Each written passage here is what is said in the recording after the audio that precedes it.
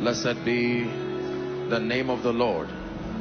From everlasting to everlasting, you are God. We crown you King. We acknowledge you as Lord. Thank you.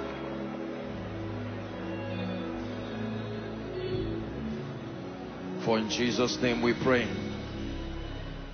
I'd like you to ask the Lord to give you an encounter tonight. The Bible says the Lord appeared again unto Samuel by his word. I'd like you to pray and cry that this is my Shiloh, appear unto me by your word in the name of Jesus, who is the Son of the living God. Appear again by your word.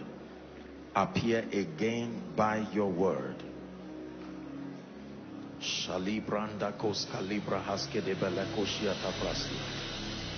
The word that brings me lifting, the word that brings me advancement, the word that will shift me to a new dimension.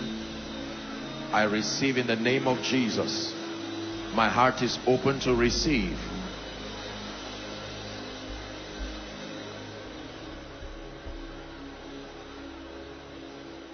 In the name of Jesus. The Bible says they go from strength to strength as many as appear before the Lord in Zion. You don't appear before the Lord and go down. When you appear before the Lord, is from strength to strength. Hallelujah. Father, tonight we pray that you will speak to our hearts. We have come with our hearts open. We have come determined to learn determined to access higher dimensions of grace and wisdom. Spirit of the living God, move among us and let Jesus be glorified.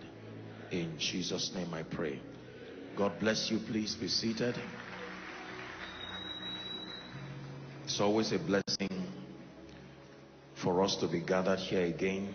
Says, I was glad when they said unto me, Let us go to the house of the Lord.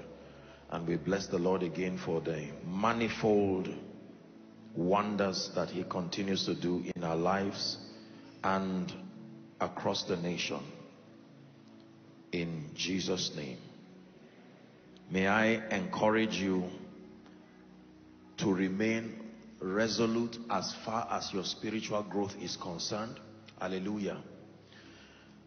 The times that we're living in will require high level spiritual illumination if you are to excel.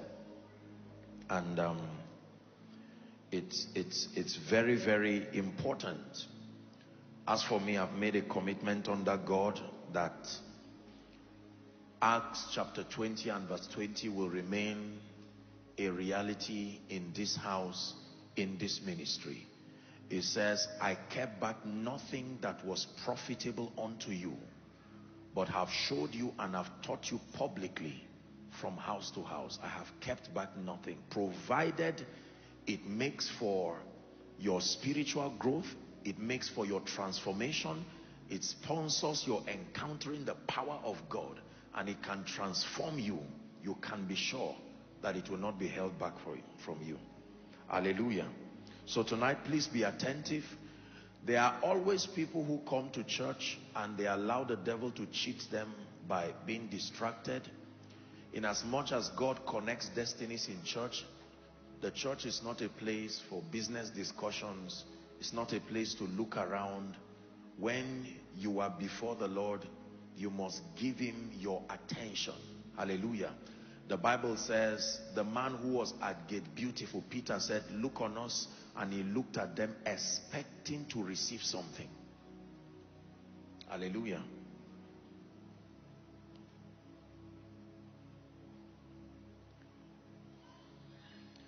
May the word tonight bless you.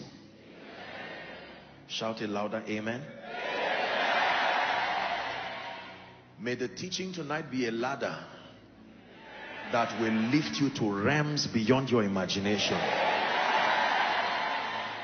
He said, I went up by revelation. It takes revelation to sponsor your advancement.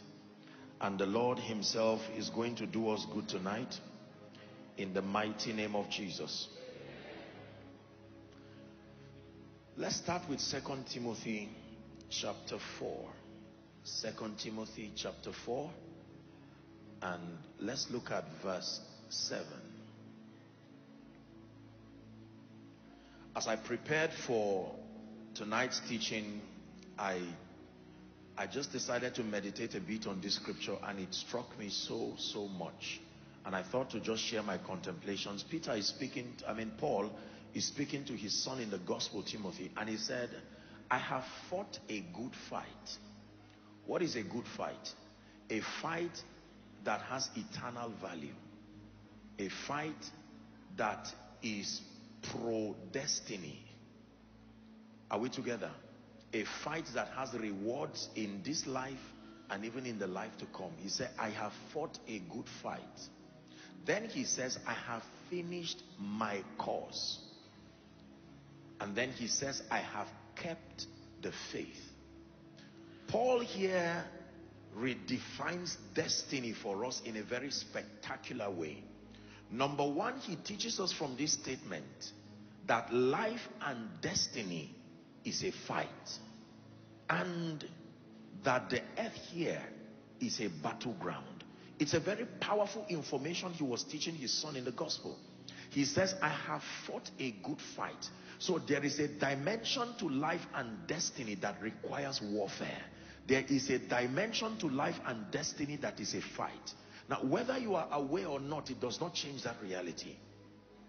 Number two, he also teaches us that life is a race. Hallelujah. It's a journey and akin to a race. Some versions will say, I have finished the race. He says, I have finished my course. So he gives us the picture of an athlete or someone on a journey. Are we together? Then he says, I have kept the faith. Number three, he teaches us that life is a gift and life is a treasure that must be guarded and protected. That the possibility of losing your life and your destiny is there. Notice very carefully. Please back to KJV. Thank you. It says, I have, in fact, leave, leave NIV so that I can use it for the discussion. I have fought a good fight. So life is a battleground.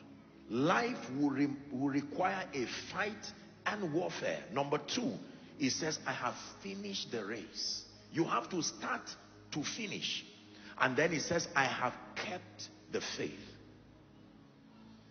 This is very powerful because you see, if you understand the various dimensions that are captured in life, you will also know the kinds of preparation you need to make to face those dimensions. Are we together? If you know that life is a fight and is a battleground, then you will pay the price to learn the armory of a warrior. You will not only learn about it, you will pay whatever price it takes to make sure that the armory of a warrior, one determined to win. Imagine with me, for instance, that someone, maybe a military man, is mandated to go to Sambisa or one of these hideouts for terrorists. And then he goes there with a short knicker, like he's running, and then a short knicker, a t-shirt, a bottle of water in his hands and his sneakers ready to fight. The destination is correct, but the preparation is wrong. Because what you are about to face there is not a race. The people you meet in a warfare are not your competitors. They are enemies. In a race, you don't have to fight enemies. Are we together? You call a race competition, not warfare. But you call a battle warfare, not competition. So, knowing the various dimensions, I hope God is speaking to someone already. Knowing the various dimensions that are captured in life and destiny helps you to make sure that as you sojourn, make sure you have the regalia of an athlete so that if you do find yourself in the field, imagine now the flip side of the story.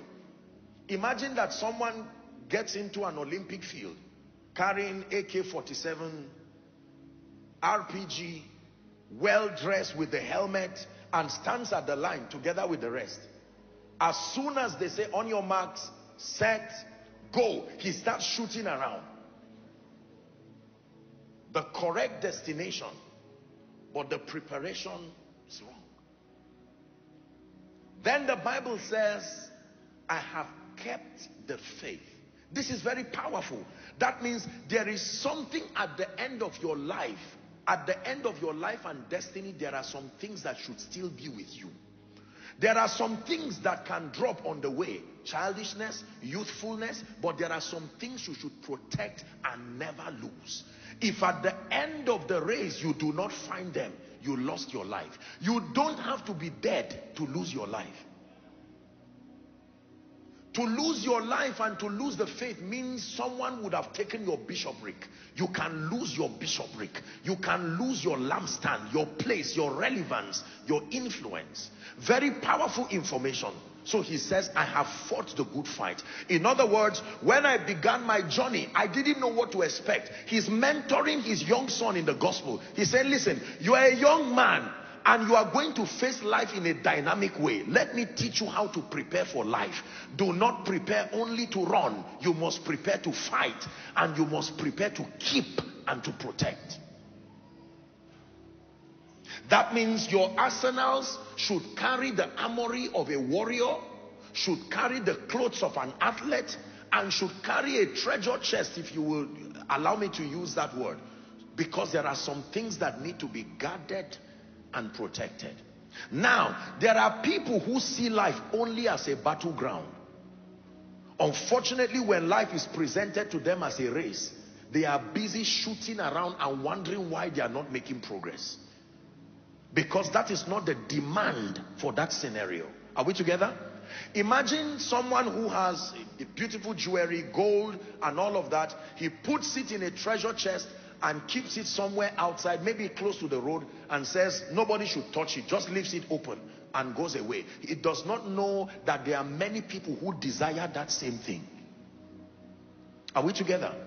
And he leaves it there only to come and find that it's been taken away. I had to meditate on this scripture myself and to pray for myself. Eh, it gave me such a profound revelation.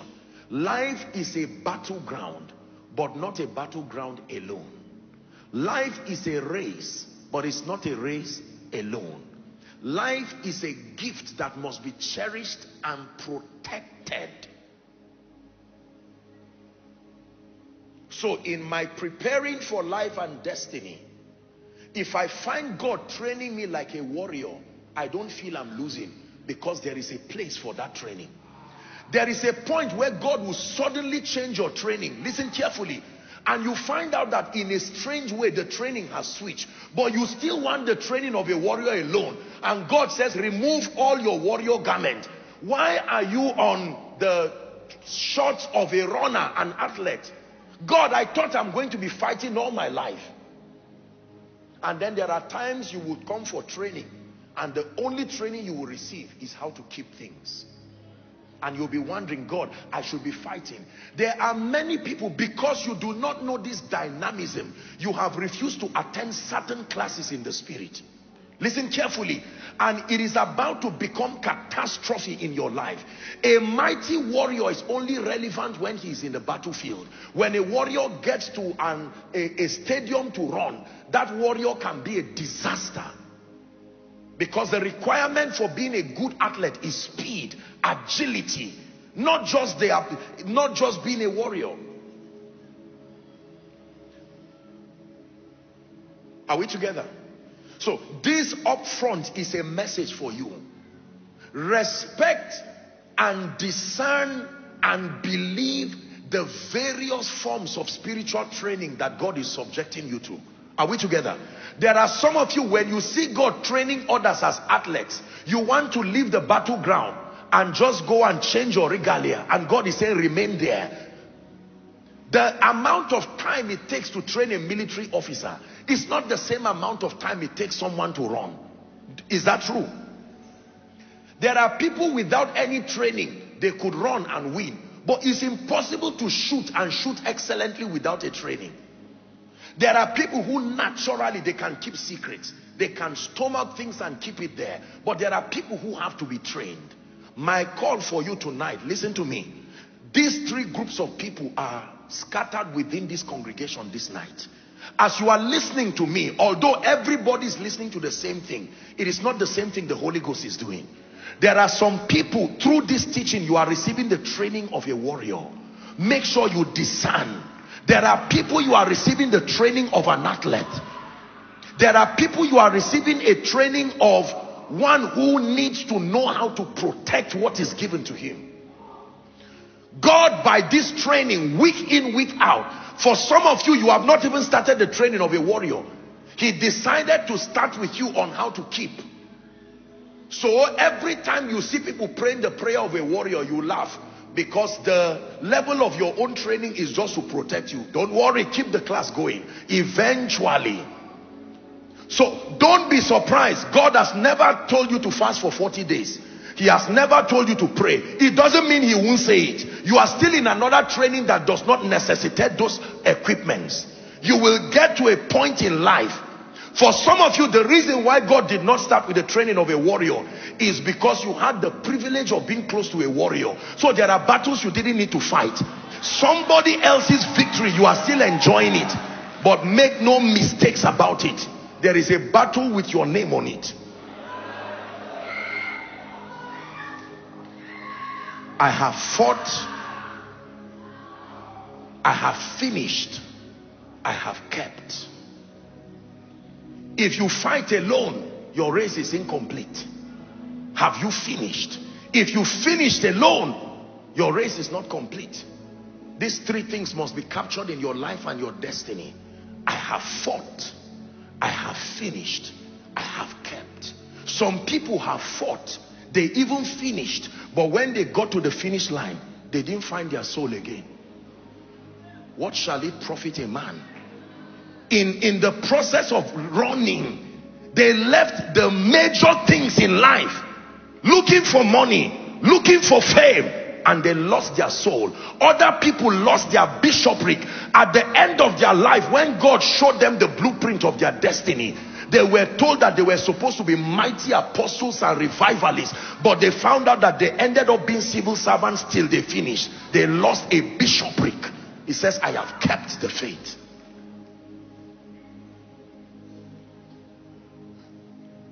Are we together? So when you come to church, don't come to listen to what you want. Come to listen to what, uh, listen for the things that are needed. And don't be surprised when God suddenly switches in his training with you and becomes unusually strict. He did not change. He's, is another kind of training he's giving you. And don't stop somebody from being trained as a warrior just because you are being trained as an athlete. Because there are times that you can see, you can be be trained as an athlete or one who will keep secrets and you look at the rigorous training of a military man you can go to him and say no god does not train like this my own god only trains you on how to keep things that's a dangerous theology because everybody in his lifetime you must be trained to fight you must be trained to finish you must be trained to keep turn it into a prayer request i obtain grace oh god the grace to submit to the training that builds me to fight. I obtain grace. Someone is praying to submit to the training that empowers me to finish. I obtain grace to submit to the training that helps me to keep and preserve my bishopric, the mandate given to me in my life and destiny. Go ahead and pray. Are you praying?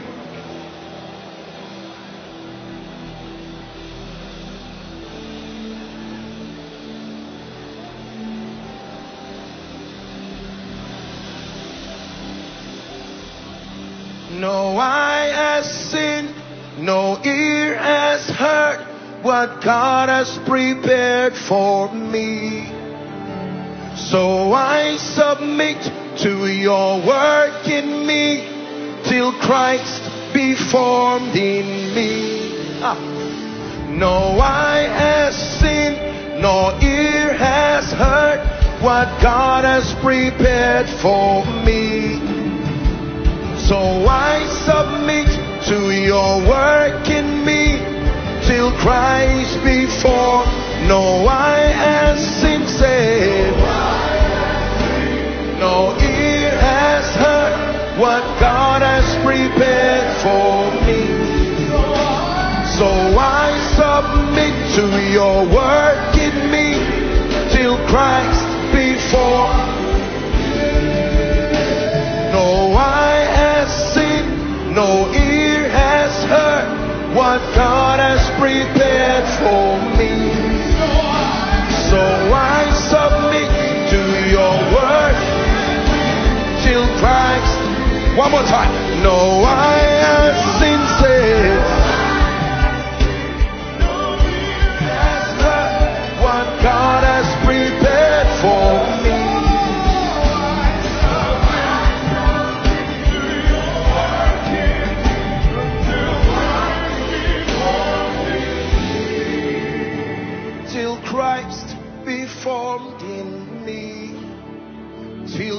glory is formed in me, your wisdom be formed in me.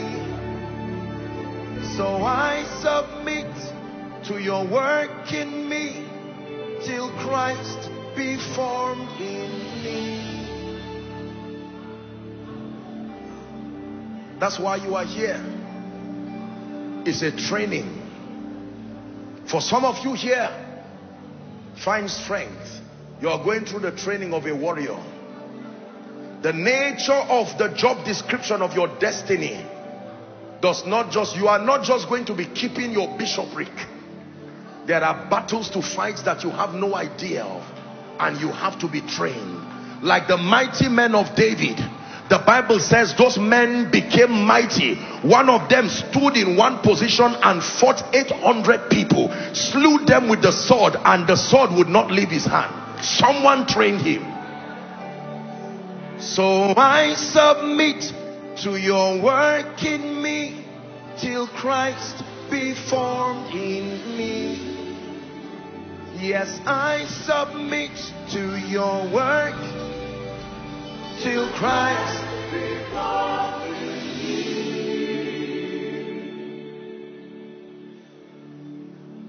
You can miss certain classes in the higher institution of learning and you can read up during exam there are times you may be maybe sick or you may be busy or just careless and you may not attend certain lectures. When you hear that is the time for an exam, there's what we call tutorial. And you can sit down and in three hours summarize the lecture. But in the school of destiny, any class you miss, even if it's after 30 years, you must write that exam again. You can get anointing and miss character 101 character 201 and after 30 years the absence of character 201 even though you have anointing will reduce you back you have to sit down and pass that exams you can study anointing 101 and forget finance 501 and say it does not matter the cry of your children, the cry of your wife. Are we together? The cry of everything around you will bring you back to that school. Listen, it is true that no knowledge is a waste, but every time is not conducive to learn everything. Imagine a woman of 55 years wearing um, a short, you know, skirt and blouse, this thing that they wear in primary school, and you sit down in the midst, those students are young, their minds are still alive. A woman of 55 years in primary school, congratulations for her courage, but she will most likely keep getting zero in everything because she will be sleeping when other students are alive. And it is not wrong. If she did what she should do, she should be sleeping correctly at that time. Listen, there are some of you I don't mean to scare you, but you came to know Jesus Christ late. There are some of you, your family had altars. You don't have any leverage of godliness to give you an edge in life.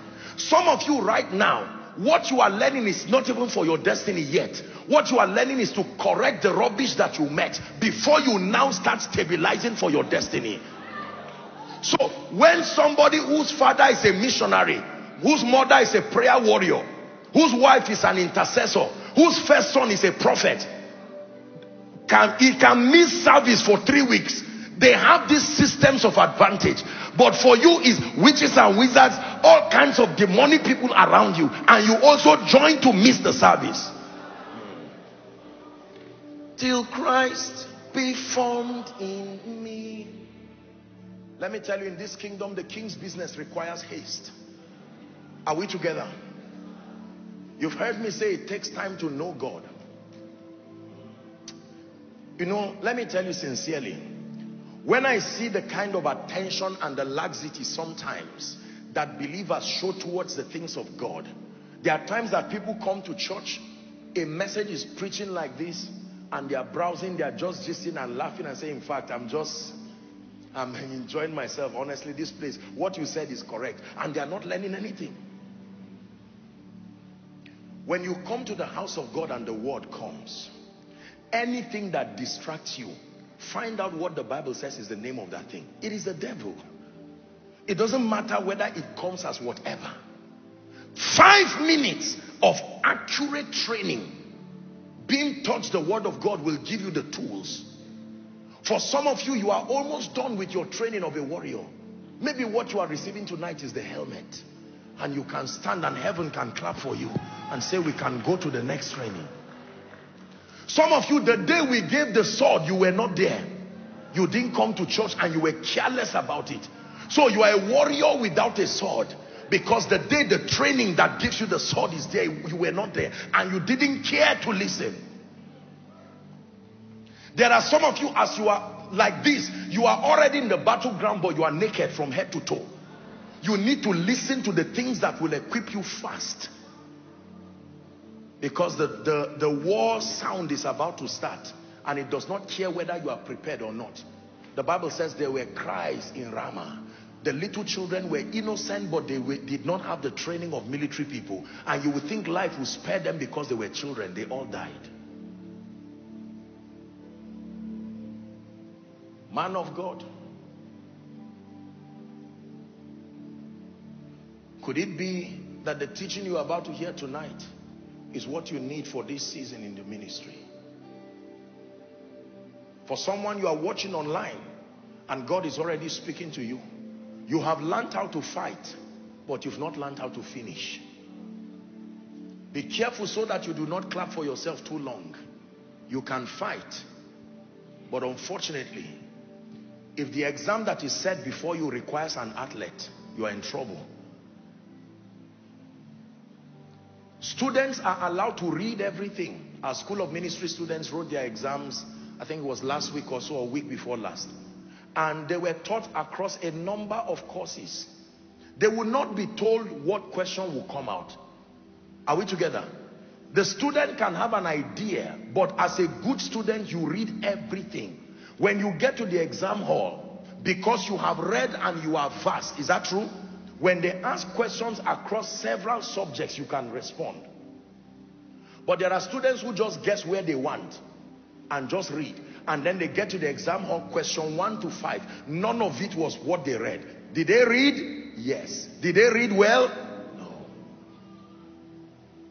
I'm preparing for destiny. I agree. But let me see what you are doing. For 10 years, all you have been doing is focusing on battle. You will be surprised that the fight you want to fight, God has put you in a ministry where that grace will do that fight for you. And by the time you will be having your own fight, you should have used the time to learn how to run. So that when that battle comes, your training plus the training there will give you a leverage and you simply move. Listen, in the name of Jesus, I pray for you. Every dimension of training you need in your life, you will not lose. You will submit yourself and you will learn, you will be thoroughly trained. Some of you have gone through the training of a warrior. You have gone through the training of an athlete. But you have not gone through the training. You have not learned the dynamics of how to keep what is given to you until the end.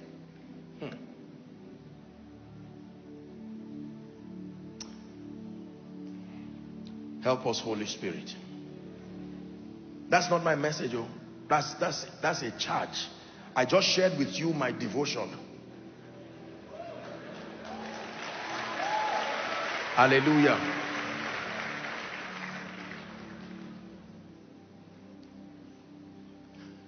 Now let's go to the teaching. Wherever we stop, we'll pray.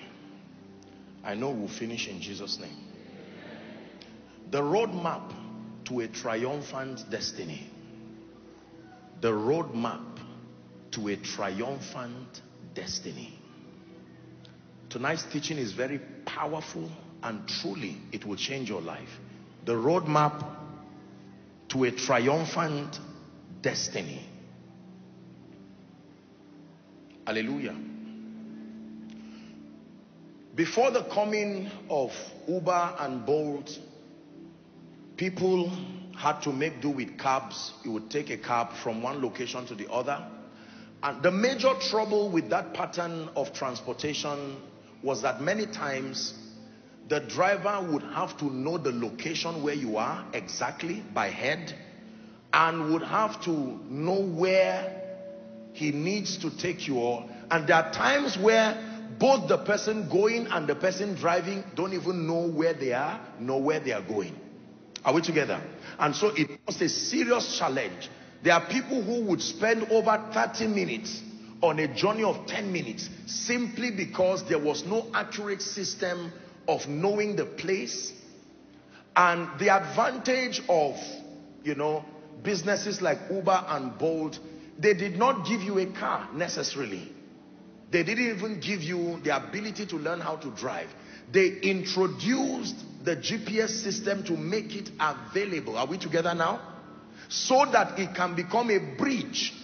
That it is possible that even though by memory you may not know where your passenger or your whoever it is that, that is making the order, you may not know where that person needs to go, but there is a device that can help connect you from where you are to where you need to be or where that person needs to be. And that simple thing that was introduced has now made people to prefer that pattern of transporting themselves to a regular cab.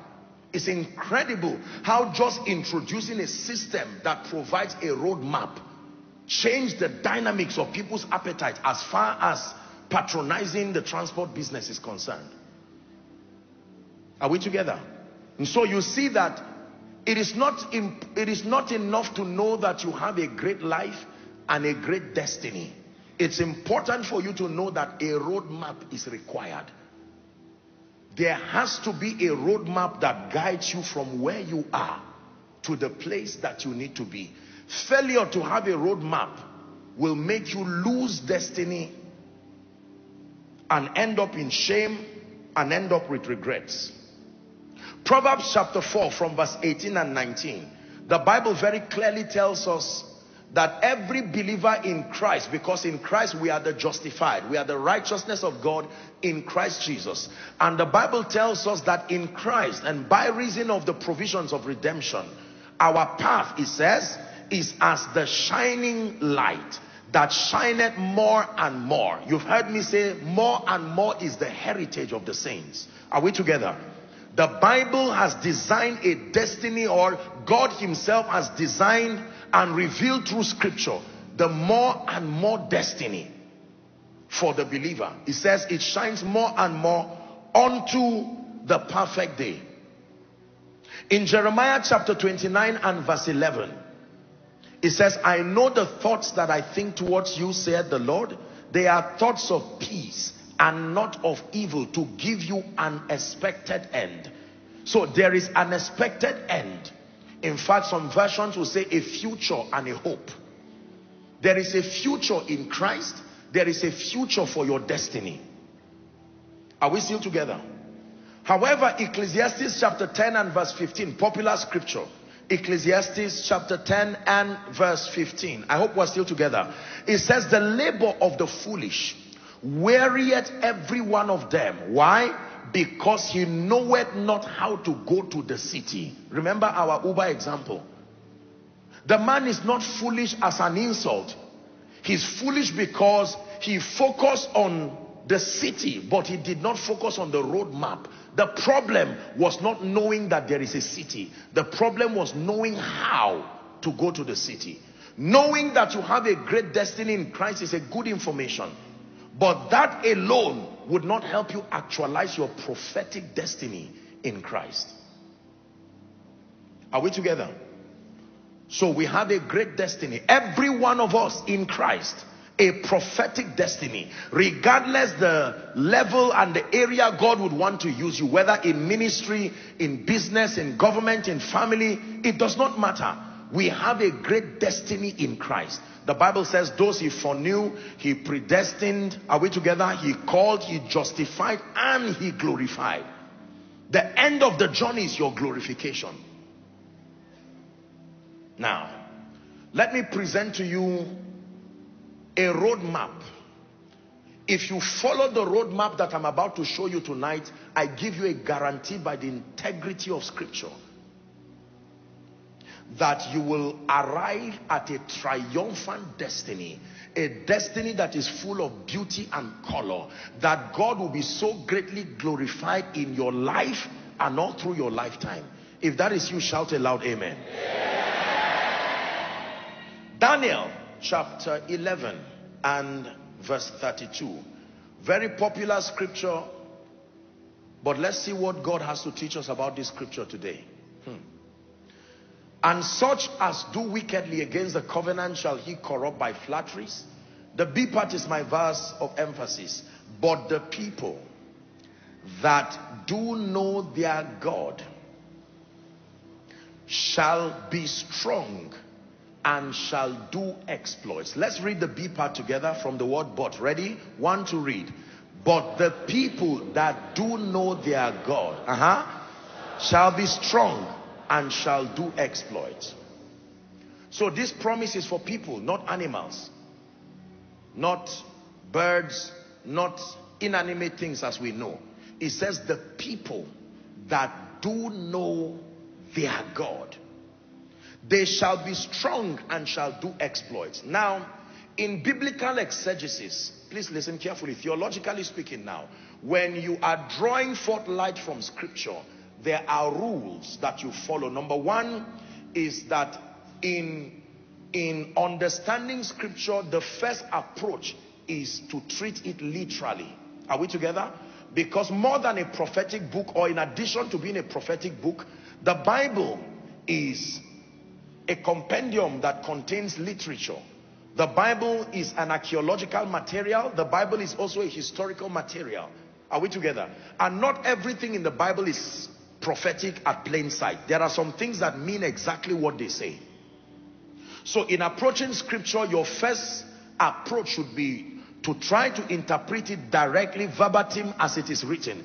If it does not make scriptural and natural sense, then you would need what the Bible calls the presence of two or three witnesses. You would have to bring other scriptures that express the same thought so that you can now look at it contextually and now find out if it will make sense by combining other scriptures and then looking at the verses before or after.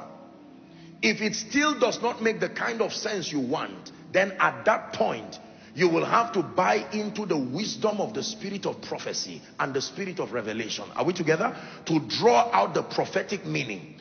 If you were asked to interpret the dream that Pharaoh had, you most likely will fail. Because I am shocked at the interpretation that Joseph gave over that dream. Are we together? That cows, fat cows ate lean cows how in the world does a cow mean time? How in the world does an ear of corn mean time? Uh, my first interpretation to that dream will be Pharaoh, you are under attack. This is witchcraft. Abundance is eating poverty. That's going to be my I'm being honest with you. And yet, Pharaoh is saying there's nothing witchcraft there. This is simply the course of time happening. So there are things that when you look at it physically, it does not make sense. But now when you approach it from a prophetic dimension, it will now make sense. Are we together? Back to this scripture. Now you will understand why I said everything I said. No, no, no, not Exodus 40. Let's do Daniel 11 again. So it says, but the people that do know their God. Now there is a contextual meaning for this. You have to read the verses before and after and then you fit it within the context that it was used. But because the Bible is also a prophetic book, are we together? You can still draw forth a very supernatural lesson from it that has nothing to do with the context as discussed. I think this is the mistake that most people have. Sometimes theologians and people who submit themselves to learning scripture when they see that men and women of God draw out prophetic meanings from certain scripture, they say it is wrong. No, you don't have a right to say it is wrong. It's a prophetic book. It is only that in order of priority, there is a contextual meaning. Are we together? And if you focus on the prophetic meaning and lose the contextual meaning, then you would not have done justice to that scripture. But if you understand the contextual meaning, you have the right based on the prophetic character of scripture to derive a prophetic meaning from it. Are we together? I'm teaching you this so that when you are listening to the message of a man of God and you hear him say something else about a scripture, whereas based on maybe a higher level of study, you see that mm -mm, from a contextual standpoint, that person failed. But God provided that prophetic meaning will still be able to reveal something about the character of the kingdom. The Spirit of God will still honor it. Only that when you are mentoring people to be of stature and maturity and you are teaching them the word, then you will need to be able to teach them to understand from a theological and a contextual standpoint while still holding on to that prophetic meaning. So you know that this is actually what the Bible was saying. However, I can still use it to relate to this. Are we together now? Now I want to give the interpretation for that verse. Daniel 11. That really is our key verse of study tonight. The Bible starts by giving us three keys that represent the major roadmaps and the junctions to our destiny. Number one, the Bible starts with the statement, know their God. Knowledge. Mark the word know. The second word that I want us to pay attention to is the word be. And then the third word I want us to pay attention to is the word do. Don't assume you know what I'm teaching. Just listen carefully. But the people that do know shall be and shall do. Are we together? Forget what else they know and what else will happen. The people that do know shall be and do. Now, let me read it for you. Are you ready? Please look up. The only people that do are those who be. And those who be are those who know. The only people who can do exploits are those who be strong. And the only people who can be strong are the people who know. Let's discuss these three words. The first is the word know. Know talks of knowledge. Be talks of transformation. Do talks of action. The Bible defines for us the prophetic roadmap to a triumphant destiny. That if these three phases of approaching life and destiny is not captured, you will never be able to actualize your prophetic destiny. Knowledge, transformation, and action. But they are not as cheap and empty as they sound. Let's explore by the Spirit. What does it mean and what does it imply to know?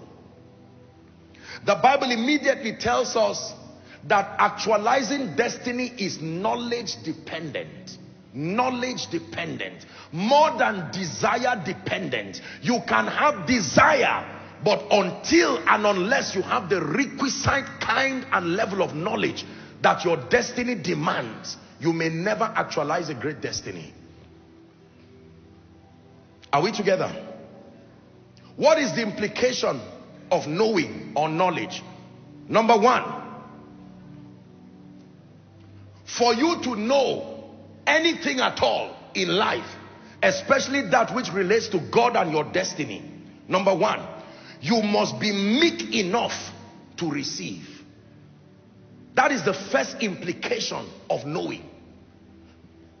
It is mandatory that for knowing to be a reality in your life, you must be meek enough to receive. James chapter 1 and verse 21. We're discussing knowing now and the implication. James 1 21. It says, Wherefore lay apart all filthiness and superfluity of naughtiness and receive with meekness. Someone say with meekness. One more time, please. Say with meekness. With meekness, the engrafted word which is able to save your soul. That means the realm of knowing is only for people who are meek. The moment you do not have the quality of meekness, knowing will never be a possibility with you. Acts chapter 20 and verse 32, popular scripture.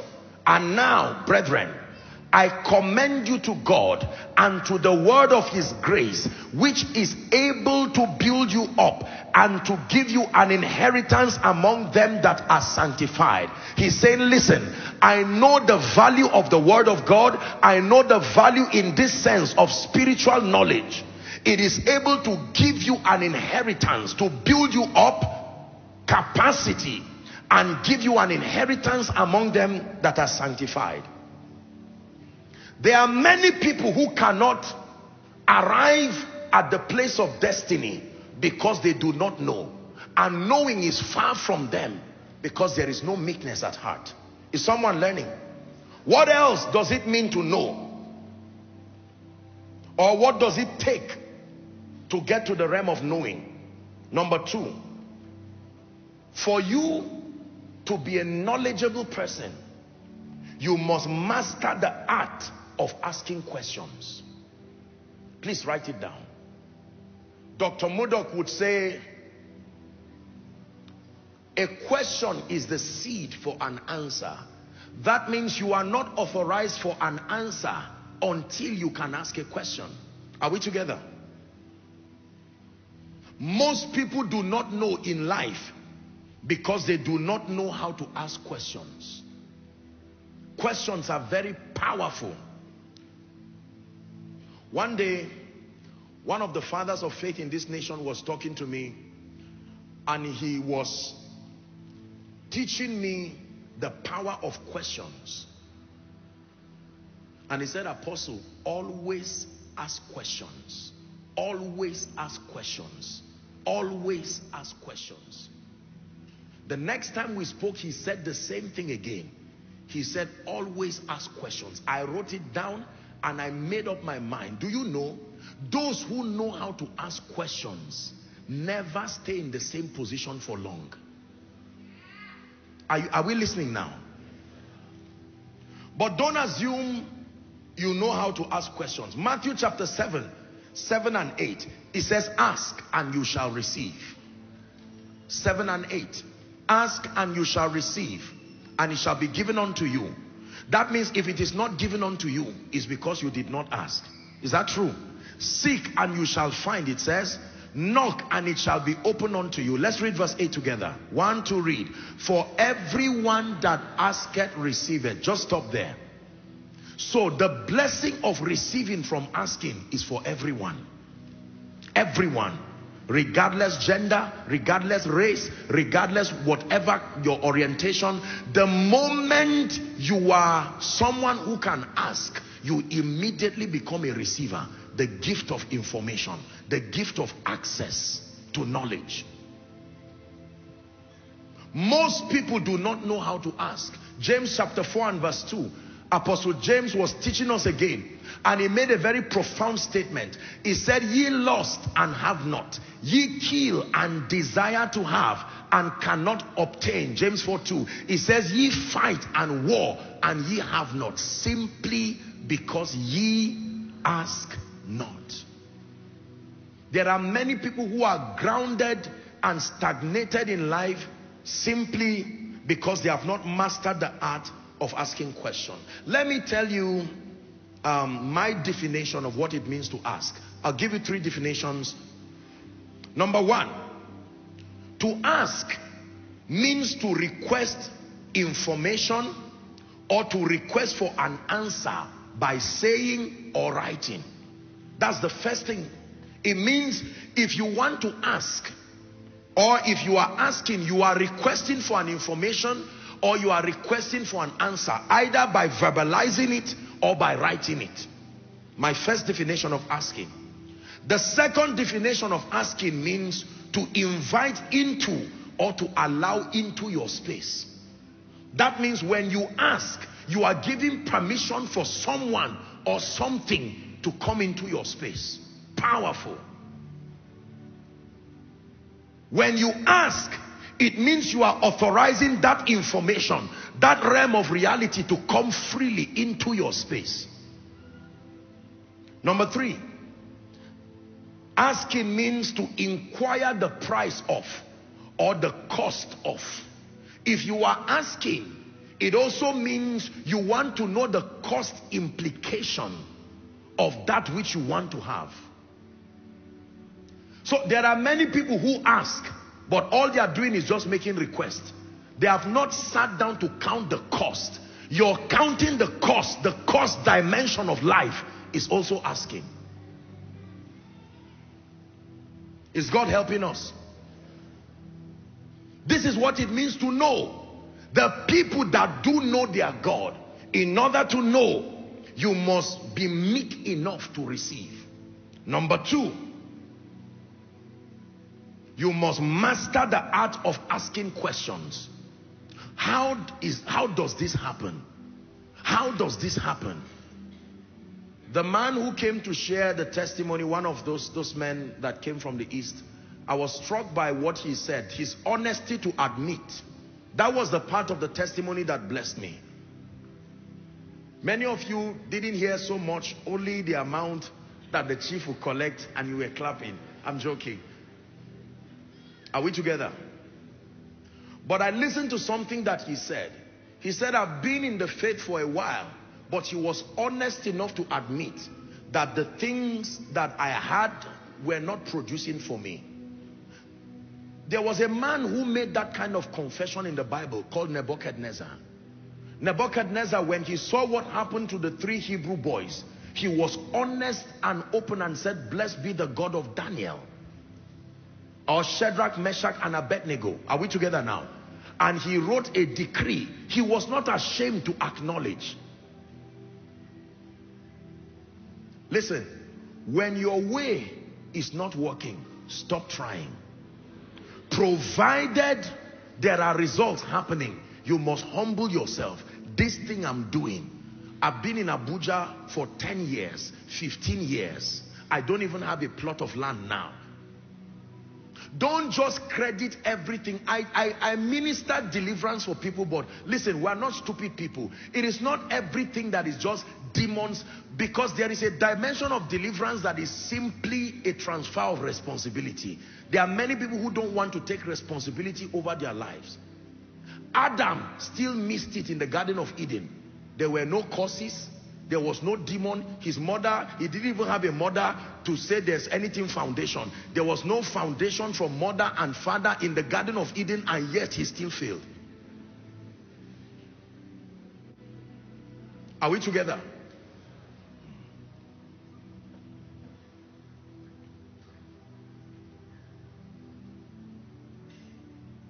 You must be willing to ask. My way is not working. I humble myself. I've been doing ministry, but there is no growth. There is no increase. When I teach my people, even when I joke, they don't laugh. They are always angry and frowning at me. I think the people are wicked. No, your view of them is that they are wicked. Jesus said, come and learn of me. That means there is something you don't know. He has vetted you and said, come and learn, come and learn. Someone you need to in your mind prophesy to yourself that I need to learn. There are things I do not know. Are we together? What is the implication? What does it take to know?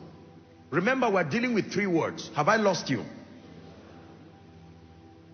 What does it take to know? Number three. In order to gain knowledge that translates to your advancement, you must be willing to sacrifice your time, your energy, your resources to buy the truth. When the Bible says the people that do know, it takes a lot to be in the place of knowledge. You must be willing to sacrifice your time, your energy, your resources to buy the truth. Matthew 13, 14, Matthew 13 from verse 44 to 46.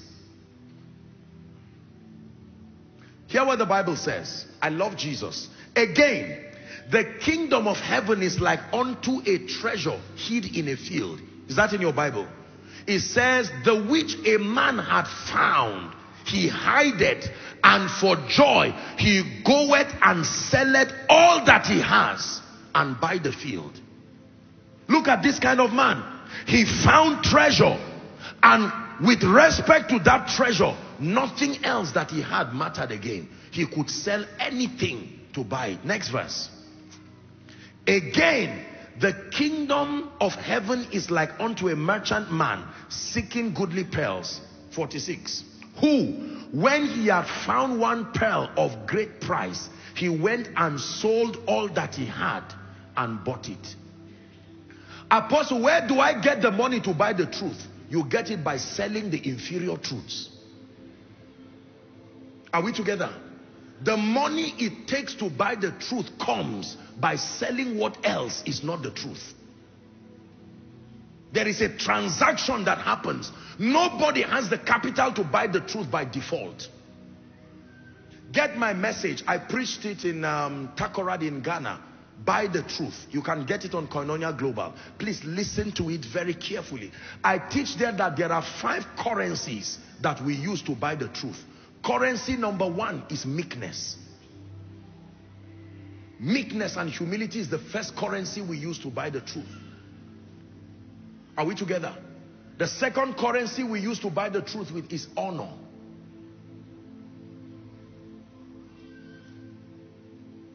Another currency we use to buy the truth is hunger.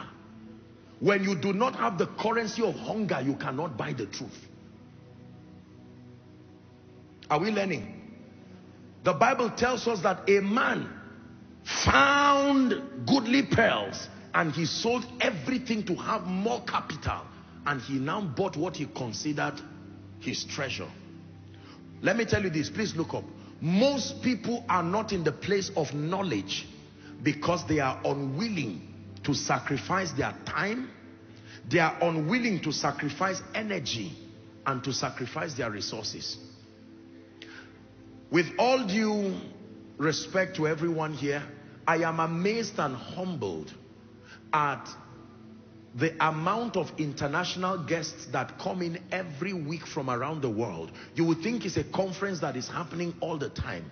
There are people who would travel as far as Australia, US to come to Koinonia for a normal service. We're not even talking about, of course, every service is supernatural, but not a dedicated service to minister to people. And some of these people, you will be surprised.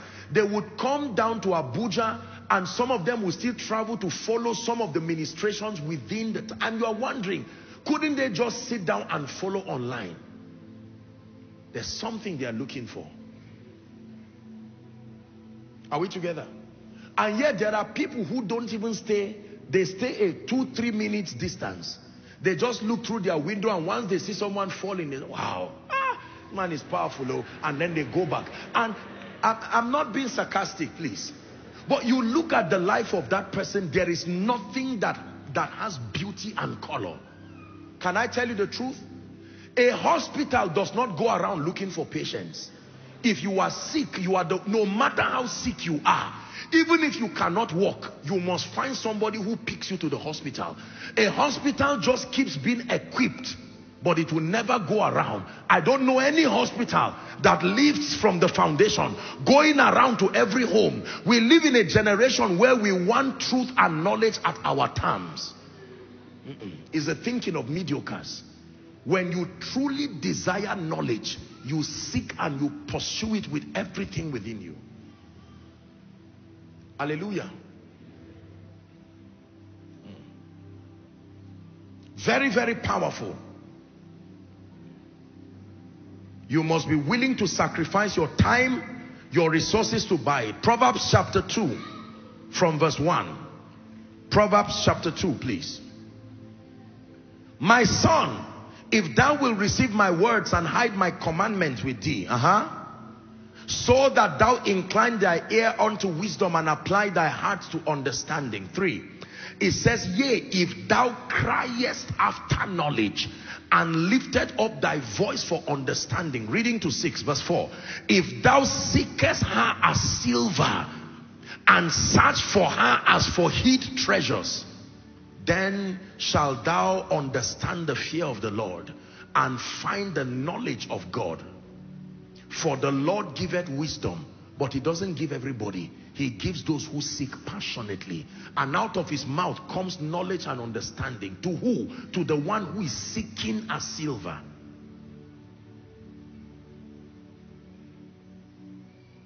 You are my strength when I am weak. You are the treasure that I seek. You are my all in all. I'm seeking you as a precious jewel. Not to give up, I'll be a fool. You are my all. Can I tell you, respectfully speaking, there are people who are not passionate about anything. There is nothing in their lives that can keep them awake in the night. There is nothing in their life that can make them forget food. There is nothing in their life that can make time pass without them being. You will not be great that way. There has to be something in your life that keeps you awake. Jesus said, My meat, my satisfaction comes from doing and finishing the will of Him that has sent me. Are we together? There are many people who are very passive. If you are passing and you see something on TV, you just watch. Oh, wow. I just learned something now. But they never pursue knowledge. The people that do know are the people that seek with meekness. The people that do know are the people who are willing to ask questions and never stop till they find answers. The people that do know are the people who are willing to sacrifice their time, their energy, and their resources to buy the truth. Number four, the people that do know are, their, are the people who have the power to value and to retain superior knowledge. That is the fourth price it takes to be in the realm of those who know. You must have the power to value and to retain superior knowledge. Value and retain superior knowledge. There are many, many people who even by the mercies of God, they encounter valuable knowledge, but they have not mastered the art of placing value on and retaining knowledge that is useful. The same Matthew 13, let's look at 47 and 48. Matthew 13, 47 and 48. Please look up. Again, the kingdom of heaven is like unto a net that was cast into the sea and gathered every kind. Everybody say every kind. Usually, this is truly the product of passion. When you pursue knowledge with passion, you will gather every kind.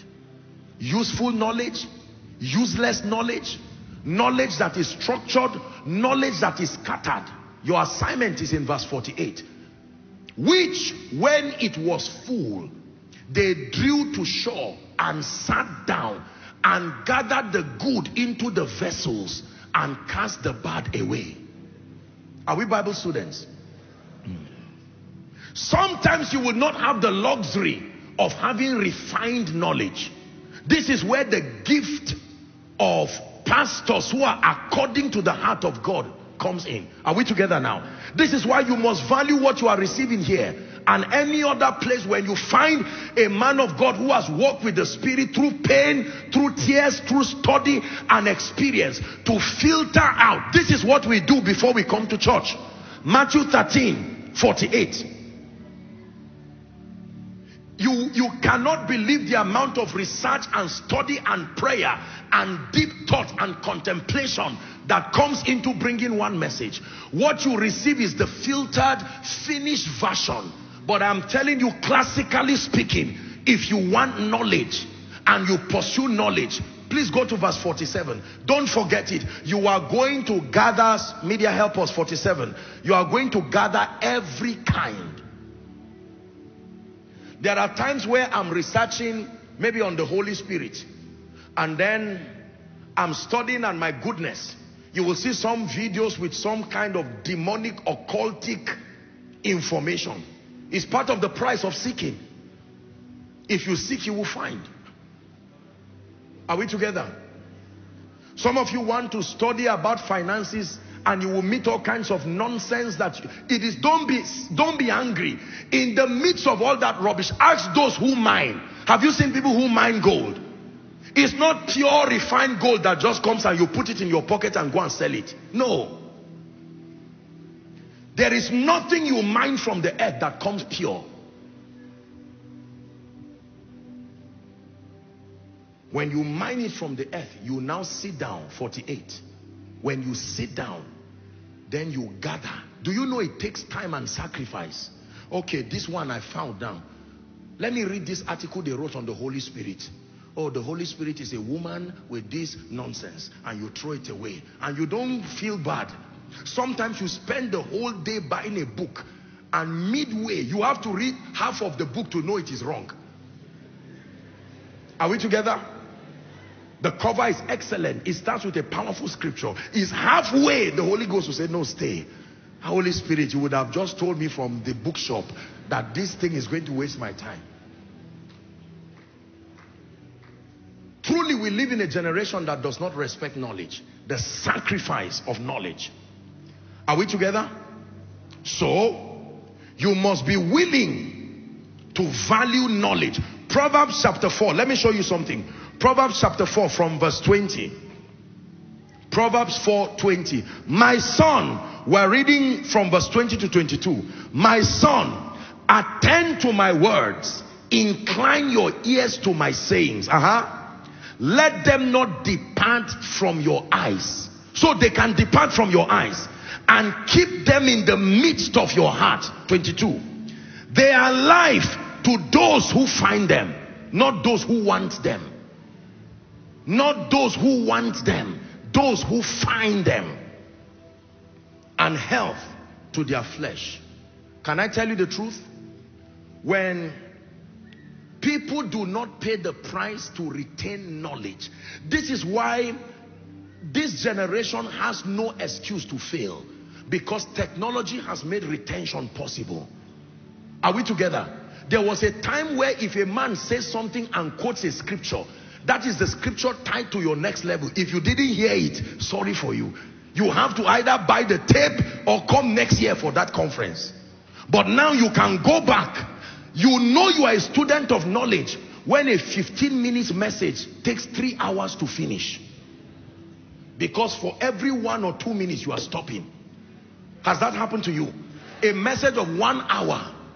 You hold on with your laptop or iPad. You come back later and on again. The fire was too much. You calm down. You are not in a rush. God, what are you saying? And light will come out of that knowledge. Revelation, I've told you, is not just knowledge. Knowledge is important, but revelation is understanding mixed with knowledge. Are we learning?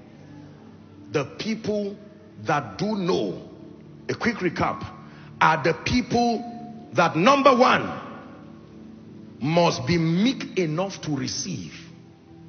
That's what it takes to know. The people that do know are number two, The people who master the art of asking questions and don't stop.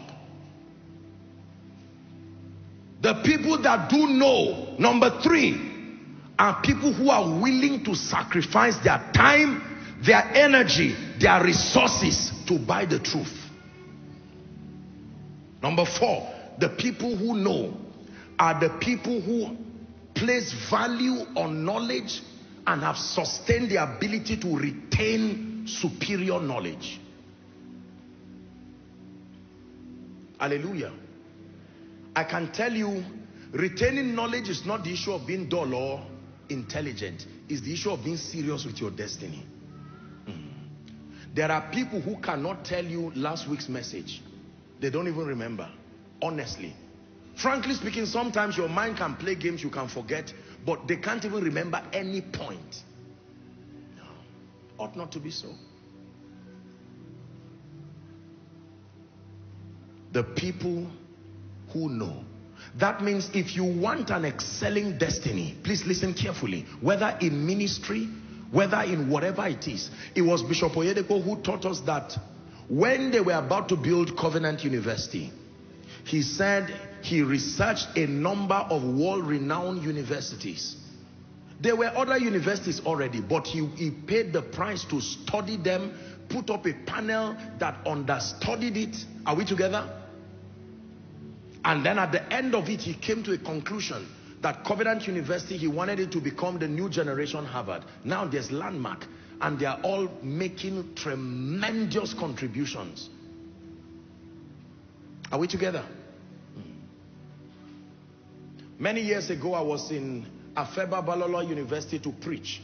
And my goodness, when I got to hear about the standard and some of the things happening there, and that that man was then at that time, I think he was in his 80s now, I don't know, or maybe 80s, I don't know how old he is now.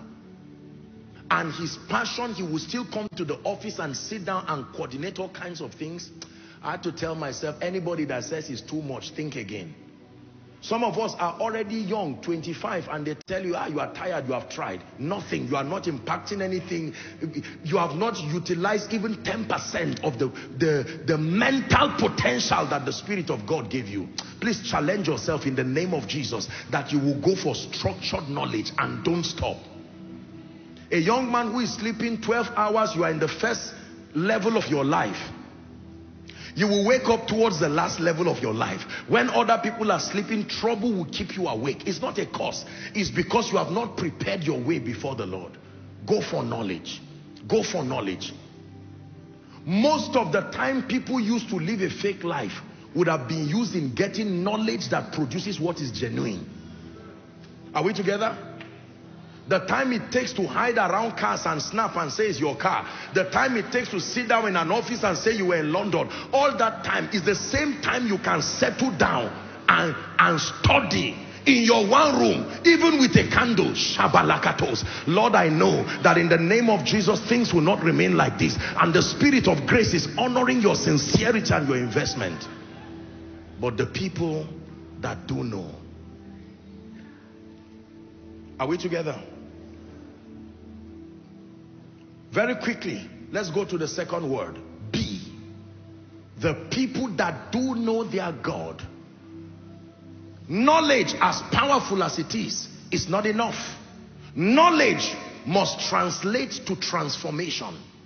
Now, there are many people who know they've paid the price to know in terms of awareness, but they are shocked that what they know is the truth, and yet it has not produced in their life. Knowing and doing will cause you trouble. Knowledge must become transformation before you take action. Are we together? Please give it to us. There are, you know, many years ago, I was studying particularly about finances. I, I wanted to make sure that I had a destiny of beauty and color financially. And every time I read the books that people wrote about finances, they didn't write the businesses that they were doing. They would just write things like character, think well, value relationships. I said, these guys are liars. What are you doing that is bringing you money? That's all I want to know. How foolish I was. They were focused on my becoming. I was focused on doing. many of you have been doing for years. Because when you do what you have not become, life will see it. There will be a red card there that will be shown you. You are doing something illegal. Are we together? Be strong. Let's look at the word be. The word be there talks of transformation. What does it mean to be transformed? To change states spiritually, mentally. What does it take? The people who are transformed, the people who become, are those that number one, those who recognize that you are not yet your best version.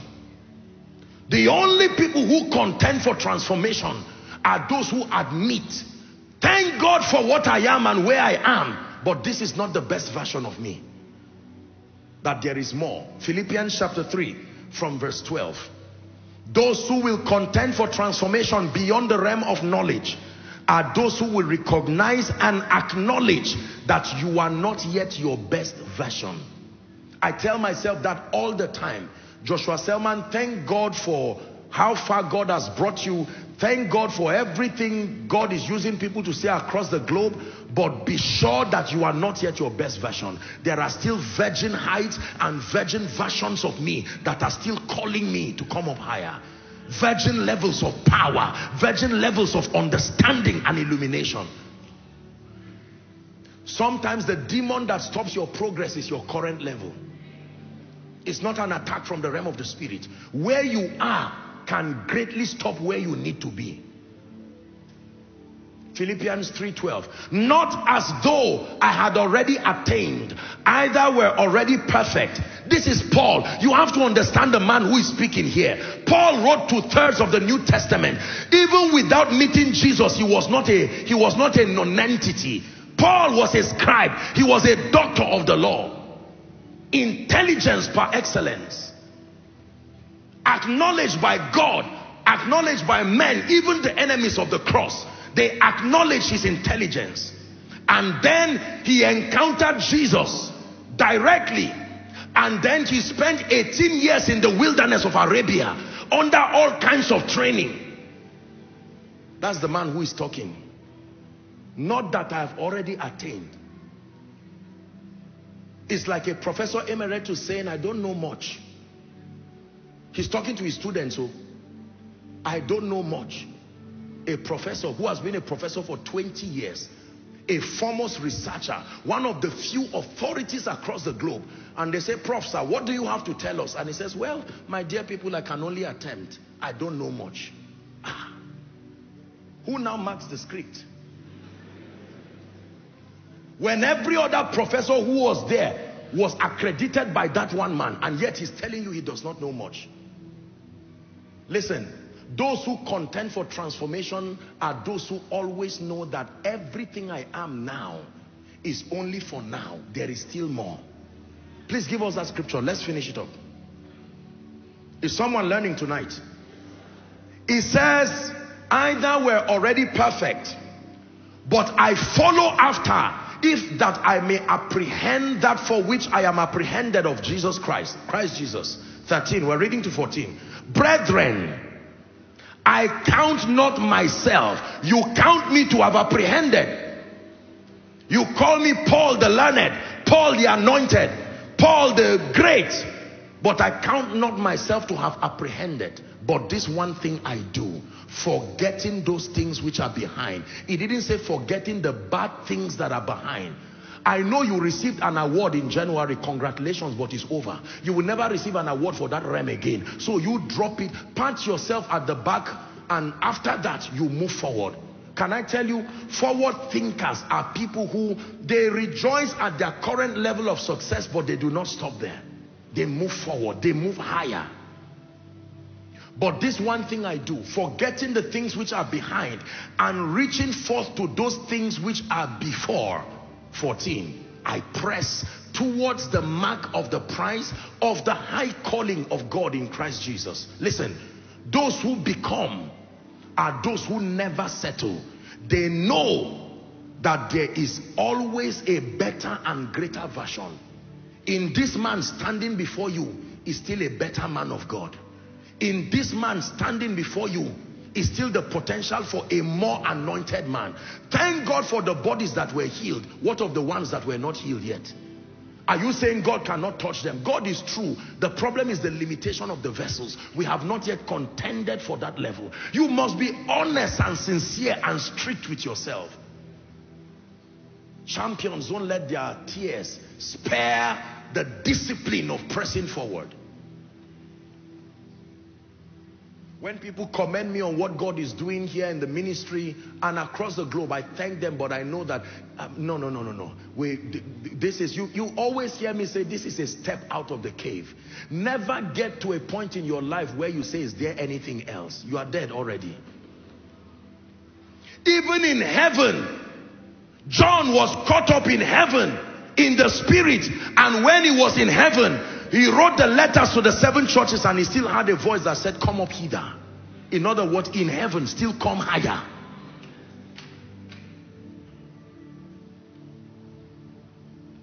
For someone, God is already speaking to you. The version of you of 2019 is still the version of you today because you have not seen anything to challenge you higher. Man of God, there are still grounds. Believe me, Man of God, there are still realms of power. This is why pride is dangerous. Because pride is a full stop in your life where you should put a comma. Hallelujah. No matter how powerful a meeting is, if you ask me how was the meeting, I would just say fine. That answers it. Oh boy, so what should, else should I say?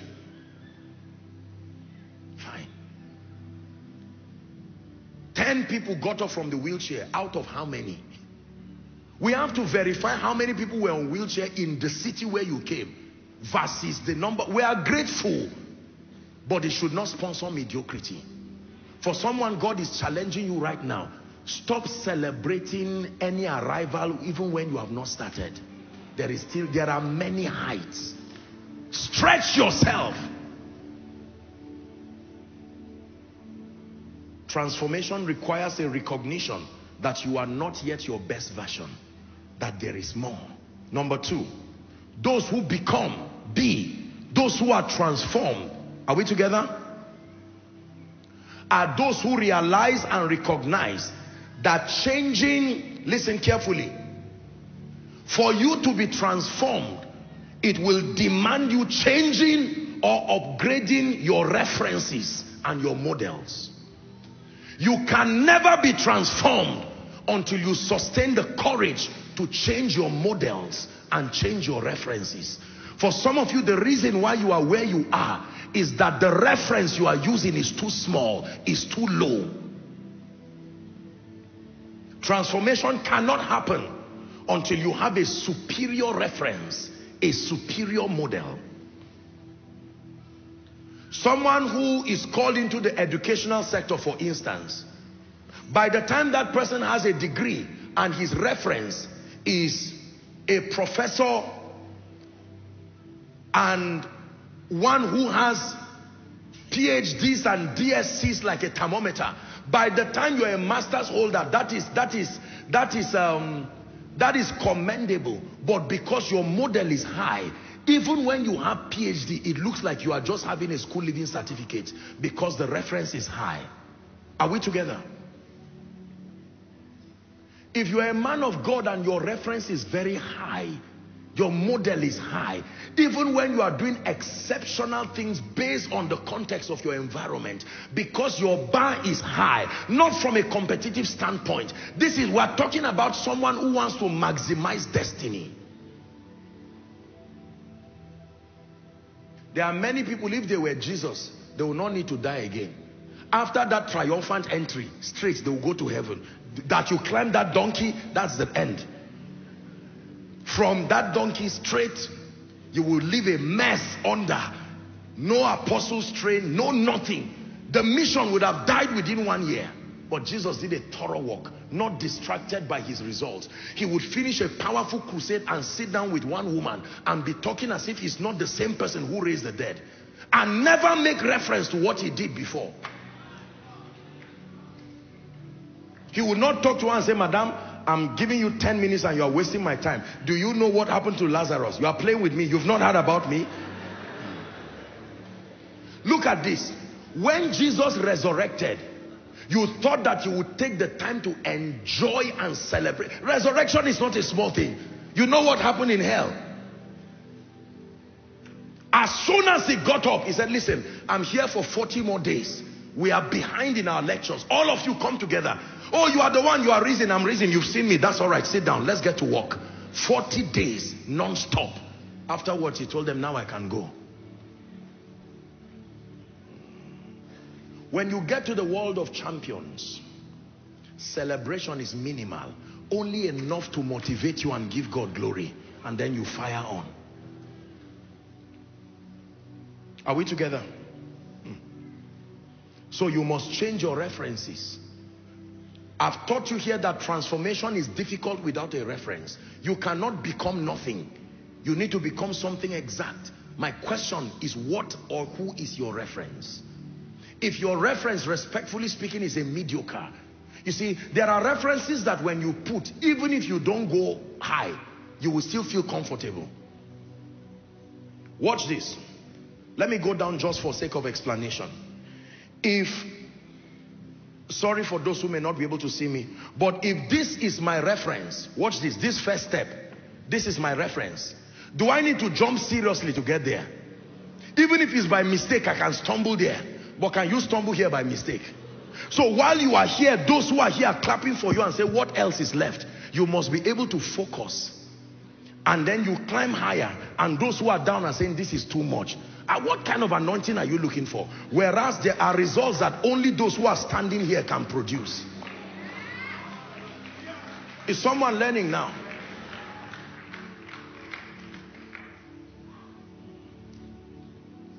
You must change your references. You must change your models. Upgrade your references. Upgrade your models. What kind of church do you want to produce? What kind and quality of believers do you want to produce? Are we together? What do you want the testimony of the average believer under your care to look or sound like? It's not just having a crowd of people. You must be interested in quality. Is someone learning? Number three, what is the implication and what does it take to be? What does it take to be transformed? Are you ready? Those who become and those who are transformed are those who are willing to give up age-long, limiting, unscriptural, and anti-destiny beliefs. Those who contend for transformation are those who are willing to give up age-long, limiting, unscriptural, and anti-destiny beliefs. Just because a mindset has been there for a long time does not mean it is correct. Africa, we need to trust God for grace. We are people of grace and potential. Now, let me tell you, when I talk of dropping wrong mindsets, I'm not respectfully speaking. I don't necessarily mean picking Western mindsets. I mean picking scriptural mindsets. You can drop an African mindset and pick a Western mindset and you are still in the same place spiritually. So I don't mean getting a more technological error. That's not what I'm teaching. Africa's error may be crude. Then you now pick and advance a technological error. It's still error. Are we together? You will never contend for transformation until you are willing to give up age-long, limiting, unscriptural, and anti-destiny beliefs. Let me confess to you up front that this is very, very hard. Because we usually are emotionally connected to our mindsets. If no matter how wrong it is, there is an emotional affinity you have towards your mindset. And stripping yourself of that mindset to embrace a new scriptural and superior belief system is almost like asking you to remove your clothes and stand naked. There are people who would rather die than to contend for scriptural transformation. Respectfully speaking, we come, there are six geopolitical zones within Nigeria, and I submit to you that every geopolitical zone has its blessing and advantage territorially speaking, but every geopolitical zone has its limitation programmed by demon spirits territorially. If you want to rise and do much for the kingdom, you have to obtain grace from God to put a superior reference that is higher than your territory. The, the scripture God gave me that delivered me from the limitation of my territory was John 1, 6 and 7. There was a man sent from God. That thing changed my life. Sent from God. That means the physical point of my arrival is not really the basis for my victory. It is where I came from. I never came from heaven. I was sent. He didn't say there was a man who came from God. That means my arrival was the conclusion of an intelligent discussion between divinity. They saw the space that my relevance can produce as far as kingdom come. I was sent with intention. When I arrived at earth, my parents gave me a name. Lovely name, by the way. May God bless them. They are watching. Next verse, verse 7. The same came for a witness. So it tells you immediately the basis of your victory. He that cometh from above, he says, is above all. And I made up my mind that I refuse to be limited by the thinking and the influences that are associated with my region.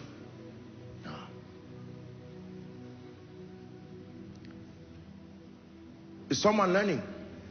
A young lady was crying and complaining to her mom about life and she just felt that life was unfair and she was shouting and yelling at the mom and the mom didn't say a word. The mom just went in front of a, a gas cooker, a four, four burner, the one that has four compartments and the mom put three, three pots and put water on them while the lady was yelling, mommy, are you hearing me? Life is unfair.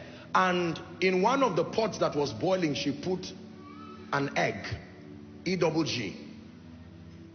In one of the pots that was boiling there, she put coffee. Are we together? And then in one of the pots, I can't remember again what she put there.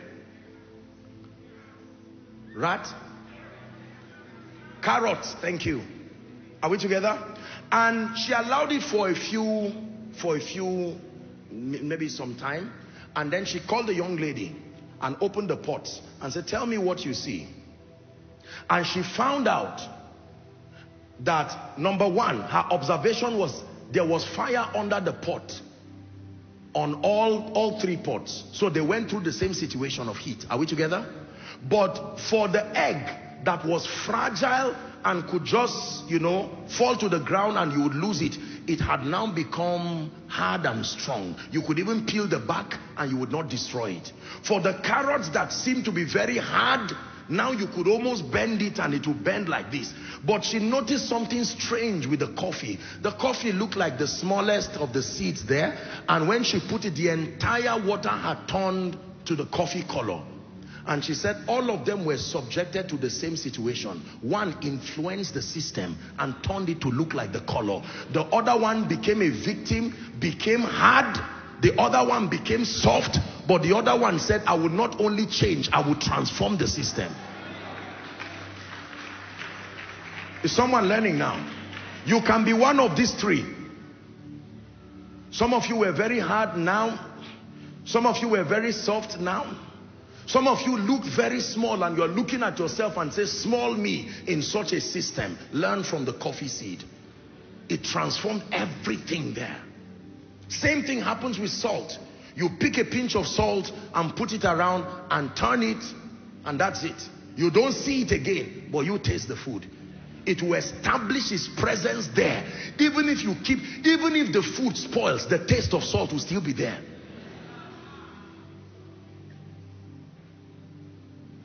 There are certain foods when they spoil, they will taste like something else. But as for salt, it will still be there. Is someone learning? You must be willing to drop age-long, limiting, unscriptural, and anti-destiny beliefs Number four, those who become, those who contend for transformation are those who are ready and prepared to face and endure the consequences of growth and progress. Are we together? Let me take it again. Those who become, those who are transformed, are those who are willing and are prepared to face the consequences and to endure the consequences of growth and progress. Let me tell you the truth. Contending for growth and progress comes with consequences sometimes unfavorable consequences. But if you really want to be transformed, you must be ready and prepared to face and endure the consequences of growth and progress. Daniel chapter 3. For sake of time, let's start from verse 6, then we'll jump to verse 12 and we'll continue till I ask you to stop. This was Shadrach, Meshach, and Abednego. Remember, King Nebuchadnezzar, there was a 90 feet statue of pure gold that was built. And he said, at the sound of whatever it is now, they should bow down. They would have bowed down and remained there. No promotion, no increase. But here it is. The Bible says, whosoever falleth not down and worshipeth shall at the same hour be thrown into the burning fiery furnace. Now go to verse 12. The Bible says there are certain Jews, they were reporting them now. And O king, they have not regarded you. They have not served your gods. They have not worshipped the golden image that you have set up. Next verse. Nebuchadnezzar heard this, he was angry. Listen to me. There are consequences for desiring to go forward. When Jesus said, let us go to the other side, the consequence of that decision was there was a storm. The disciples almost lost their life. Advancement is not convenient. Transformation is not convenient. It will change many things about you. When you make up your mind that you want to carry genuine spiritual power, you make up your mind that you want to be learned and sound in scripture, I submit to you, it will change many things. Are we together? They brought these men before the king, 14. Nebuchadnezzar spake to them and said, Is it true that you have violated my commands? 15. Watch this now. He now gave them one last chance. Doesn't it look like what life does? Choose to remain here and be comfortable or go through the controversy that comes with advancement. 16. Shadrach, Meshach, and Abednego answered and said to the king, O Nebuchadnezzar, we are not careful to answer you on this matter. Look at this gentleman, 18. He said, if it be so, our God whom we serve is able to deliver us from this burning fiery furnace and he will deliver us out of your hand. 18. But if not, but if not, I know based on the word of God that as I advance into this business, as I advance in ministry, this is what should be. But if not, I rather fail following God than to mark time in fear. Those who, listen, those who move forward and are transformed are people who are willing to go through the discipline and the consequences. There are many of you, please listen to me. There are many of you making a decision for Jesus and making a decision for a meaningful life may cost you the sponsorship of those who are currently helping you. They will make up your mind their minds and say, I will never help you. There are many people who are of many different faiths who came to Jesus Christ and their family members warned them and say, listen, we're giving you one last chance. Think about it and remain with status quo and find the comfort or make up your mind. And they made up their minds and for five years, nothing changed. They really suffered as a result. Let me tell you the truth. Advancement comes with severe consequences making up your mind for Jesus, you would think that after such a bold statement, God would not even allow the story continue. He would step in. Do you know how frustrating it is to stand and defend the name of the Lord? And the trouble they told you will happen still happens. As though God were not watching. 19 learn something tonight. Nebuchadnezzar was angry at what he perceived to be their disdain. And he commanded that they should heat the fire seven times hotter. Let's rush. 20. He commanded that the boys be cast into the fire. Next verse. And the boys were bound. As at the time they were tying them, brothers and sisters, God was watching in heaven. I wonder what they were saying. You thought that they were not afraid. They just said, God, you will come. It's a lie. They were humans. They were shaking like a leaf. So this is how we're going to die. But Lord, we defended you. How many of you know that there were people who stood before terrorists and they told them, renounce your faith and we will kill you. They said, we will not. They shot them and they died. Hmm. There are consequences when you want to go forward, my people. There are people today who would have been billionaires with compromise but they gave up billions. Everybody called them fool, including we pastors. They say, you, there's a way you have done this thing. You are, you are really stupid. And they felt stupid later on. Because they thought that at the end of living a nice life, their superior will call them and say, I've watched you. I shall bless you. They say, now that your tenure is over, get out of this place. Let the person who walk with us come. Do you know how difficult it is when you're loving God makes you look stupid, when you're honoring God makes you look stupid, you would have compromised and by now you would have had a job. But for three years you have refused. What of the politician who would have compromised and become a governor or a senator? He was given the offer and he said, no, for the sake of my faith. Is someone learning? Transformation is costly. It's not just sitting in your room and changing states. You must be ready to face and endure the consequences. Let's finish this scripture. 22. Therefore, because the king's commandment was urgent, the fiery furnace was put so hot it slew those that the men threw. 23. And the three boys fell down bound in the burning furnace. There are times where God can stop you from even entering the fire. But there are times, sadly, ladies and gentlemen, you will still enter that fire. But trust him enough. Trust him enough. So you are making up your mind, you will never follow any man for money again. You are making up your mind, you're going to serve the Lord and have a dignity, a, a destiny of dignity and color. And your friends can warn you. You know that your accommodation in Abuja, you know how, it, it, um, where are you going to get 1.2 million from? And you make up your mind. And then your rent expires. And you drop your prayer request in a miracle service. And afterwards, your landlord is waiting for you you flog it out and nothing seems to happen. You have a choice to go back. But I've said it here the same energy it takes to go back is the same energy it takes to move forward. Whether you go back or go forward you are not where you were and you are not where you need to be. It is wiser to continue. Is someone learning? Hmm. 25 he answered and said, Lo, I see four men who are loose, walking in the midst of the fire. They have no heart, and the form of the fourth is like the Son of God. I don't know everything about God, but there is something I know about God. That when God decides to honor your pressing into Him, I've taught it here.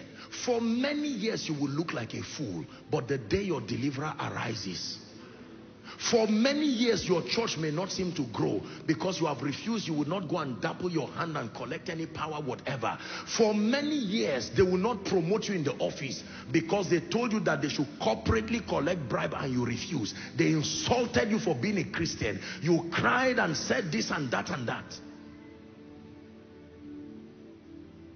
God can arise, oh.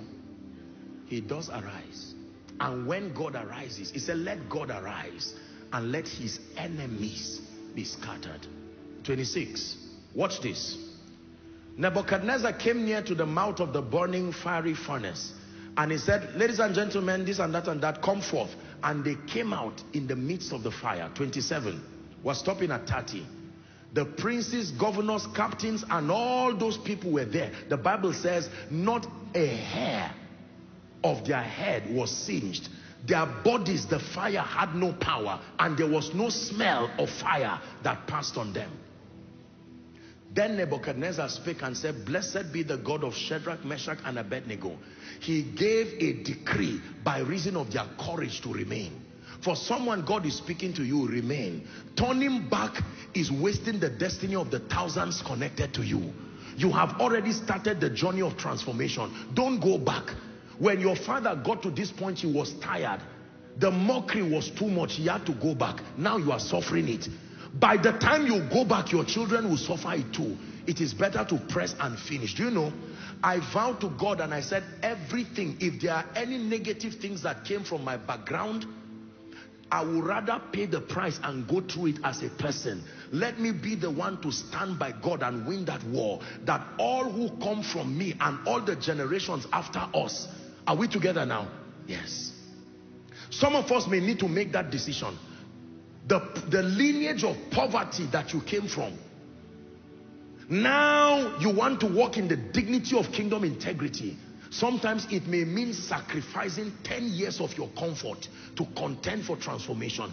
But if and when you do that, you would have started a dynasty of kingdom wealth and blessing. Are you willing to go that far? In many parts of Africa, when the missionaries came and they brought the gospel, some of them, when they waved their wives goodbye, they really meant it. Their wives knew they would not come back. They knew they would not come back, and yet they still went. Hallelujah.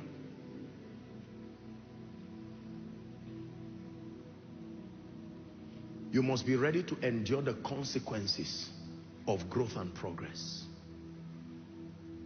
Who is this that is staying in our house? You are always praying. You are not a pastor. But sir, you know the background. Don't pray anything. If you are going to continue praying and continue studying, you are getting out of my house. And sometimes you are going to have to make that choice. And you go out of your house, you carry your little bag, and you are strolling like a madman in the middle of the night. And you're saying, Lord, I'm doing this for you. Listen to my the part of the teaching that I taught here in Koinonia when God is silent. It is a painful thing when God is silent. God speaks, but he's not always speaking. He can be silent. The call for you at that point is to keep changing. Keep changing. Lord, but I love you. I thought by now I would have been able to pay this rent. I thought by now ministry would have opened up. I thought the business would have worked. Let me tell you the truth. There are many times in your journey towards destiny actualization that you will not have answers. Don't be under pressure to give answers. Wait for the answer to come. Especially the answer of where is your God. Anybody who asks you, where is your God? If you answer it, you are wrong. You are not the one who should answer that question. the moment they say, where is your God? That answer should be transferred back to God. You've heard me say, if you take the shame, you have been taking the glory. You can't be taking, God cannot be taking the glory and then you take the shame. Whoever takes the glory must take the shame together. You claim you are a man of God. Nobody has been healed. The people who are blessed, today 10 members, today 50 members, and someone will tell you there's something I can do and in one month your ministry will change. And sometimes it can be tempting because you're a human being. Somebody will say, I told you five years ago you will be a failure. This God thing. Remember, when you were on campus, I told you this stupidity will land you in trouble. Now, 10 years later, you are pastoring 20 members. I have an estate somewhere. There are times it looks foolish to stand on God's side. But when you stand there as surely as the sun rises after night, I can tell you your deliverer will come. And when he comes, he will come in grand style. He will pick you in the presence of all who saw you I'm speaking this prophetically for someone because for someone you came to church and every time you hear people prophesy, maybe you are a mother outside, maybe you are someone, maybe you are a man of God still in your spiritual, your walk with God and sincerely things are not working. Every time you see people testify here, you can't say they are lying. But from their testimony, you keep, you keep asking God, is it that you are not seeing me? I come early for miracle service. By 10 o'clock, I am here.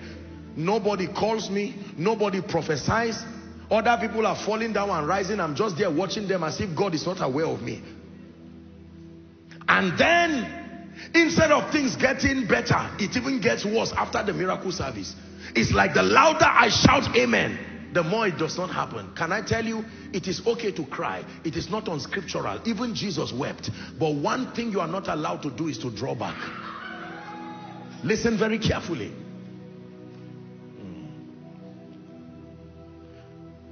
The Bible says, fear not, I have redeemed you. I have called you by name and you are mine. It says, when you pass through the waters, I will be with you. Through the rivers, it will not overwhelm you. Then it says, when you walk through the fire, when it has to do with fire, you don't run. You walk through the fire. And I, I, I wish God would tell you you only walk for one year. Sometimes you will walk for a long time. A long time.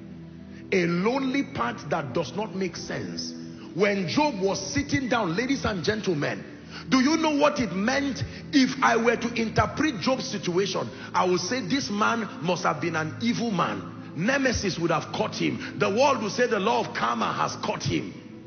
And that was a sincere man who sat down to the point that his last support. You know what it means when your wife looks at you and says, listen, you know I love you. We've been on this journey for a long time. But please, I prefer you dead so I can rest. If some naysayer is talking somewhere, you don't care. But now your wife. And Job said, though he slay me, hmm, though he slay me, yet will I trust him. Though he slay me.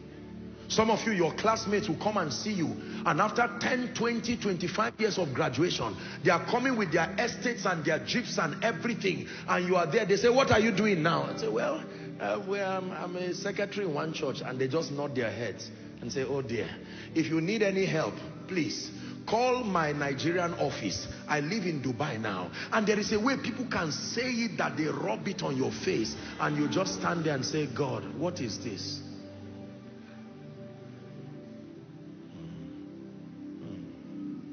If you have not gotten to this realm, it's because there's something you are not doing right. I assure you. If it is the road to destiny, you must meet this realm someday. No, these are not realms you pray away. You only pray for grace to pass through it. The journey of becoming only happens in that wilderness. The journey of becoming does not happen when you are taking coffee and sipping. No, no, no, no, no. It's a painful journey. For many years in your life, I, I let me repeat it again. No matter the kind of leverage you have, if it is God you are seeking and the, his kingdom, there will be a level where nobody's sermon will really be able to matter to you again. You will have to be the preacher and the prophet of your destiny at that point. If it has not happened to you, I'm informing you ahead of time. Because for some of you, maybe you are about to enter that season. Remember what I taught you about trainings. You have been receiving the training of one who protects. So when you see warriors, you say, oh dear, I pity these people. Now you are about to begin the training of a warrior. Go and go to NDA and see how they train military men. Sometimes these men are asked to roll inside mud. You, you will say this is dehumanizing, but they are preparing them. And they kick them, kick them again. Yes, sir. Fear no evil by the waters still my soul. My heart will trust in you. My heart will trust that though I walk through the valley Lord, I fear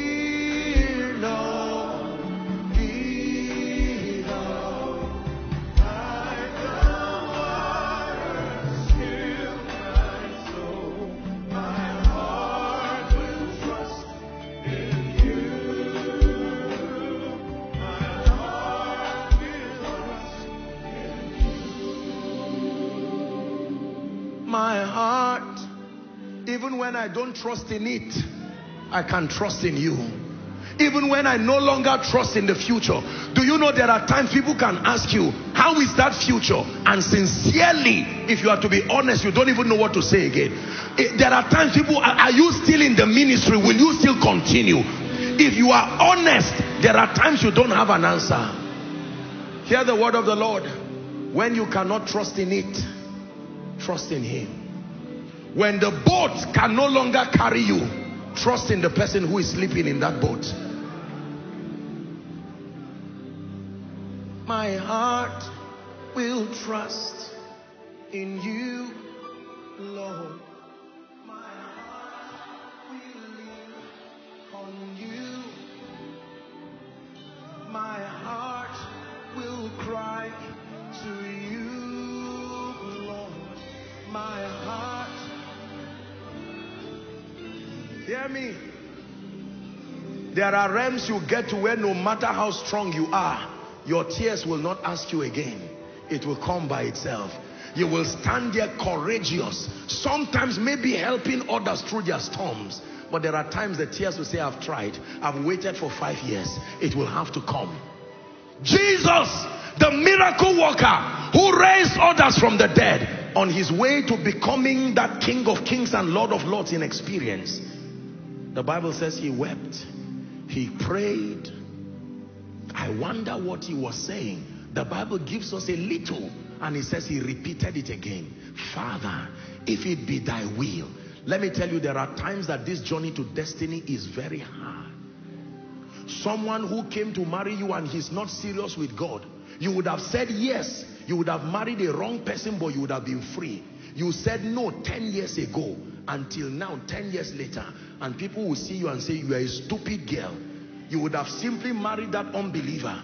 You stood expecting God to honor you and it's 10 years now. What do you do when what people are saying about you is true? Though I walk through the valley, to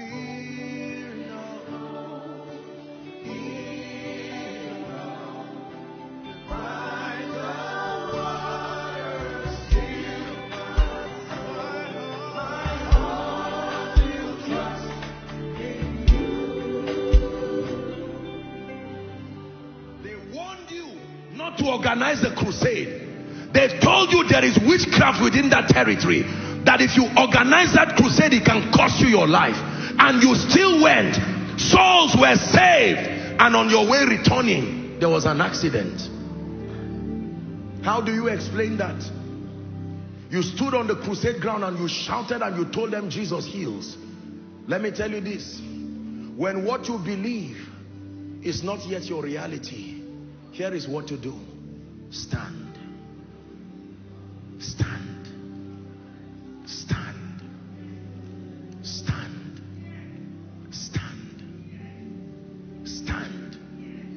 I'm prophesying, no, I'm not preaching.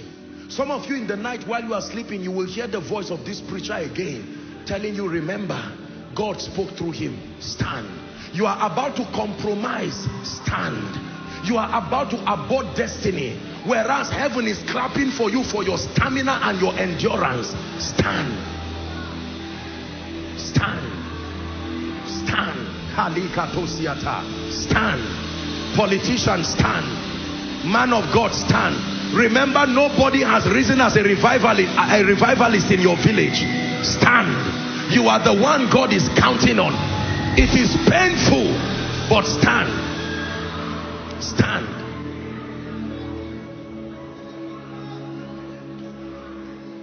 Let me sing one song for you and then we'll wrap up. I will hold on through the storm. I will hold on to your word.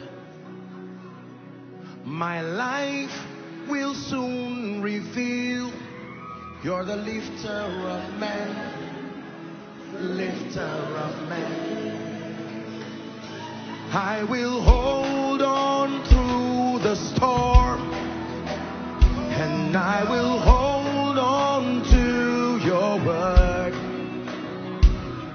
My life will soon reveal you're the lifter of men.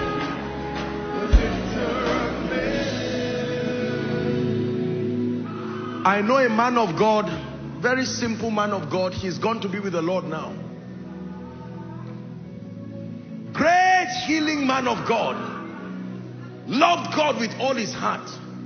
And one day, they discovered that he had cancer. And initially, he shrugged it off and waved it off. The naysayers laughed and said, thank God. Ah, what happens when your naysayers find a reason to rejoice over you? Was it not the psalmist that said, Unto thee, O Lord, do I lift up my soul? He says, Oh my God, I trust in you. Let me not be ashamed and let my enemies not triumph over me. Listen, that man's health began to deteriorate and deteriorate and deteriorate and deteriorate. And I saw the way it shook the family. This, uh, this is a believing family that loved Jesus. And finally, he couldn't stand again and he had to go. Hmm.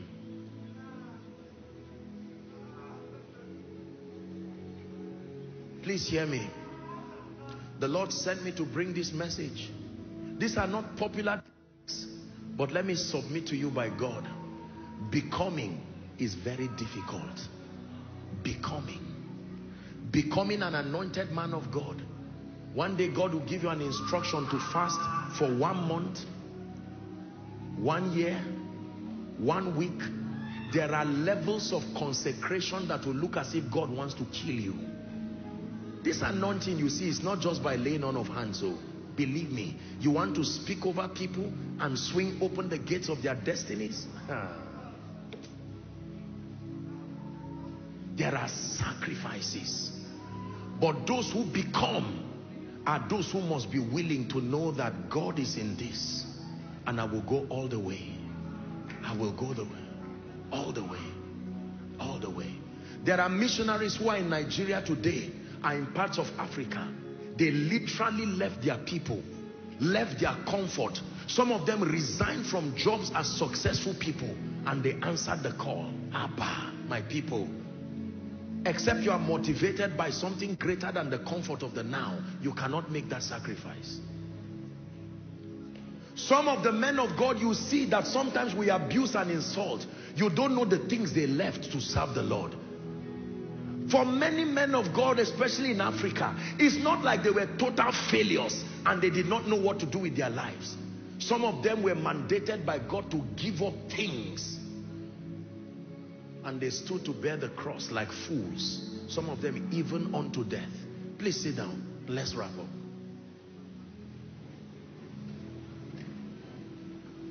Koinonia is quiet, but it is the truth. Let's wrap up. But the people that do know their God, this is the scripture we're discussing. We have looked at knowledge, the demands to have knowledge, the demands to be transformed now. Watch this. This is the last step of the success equation.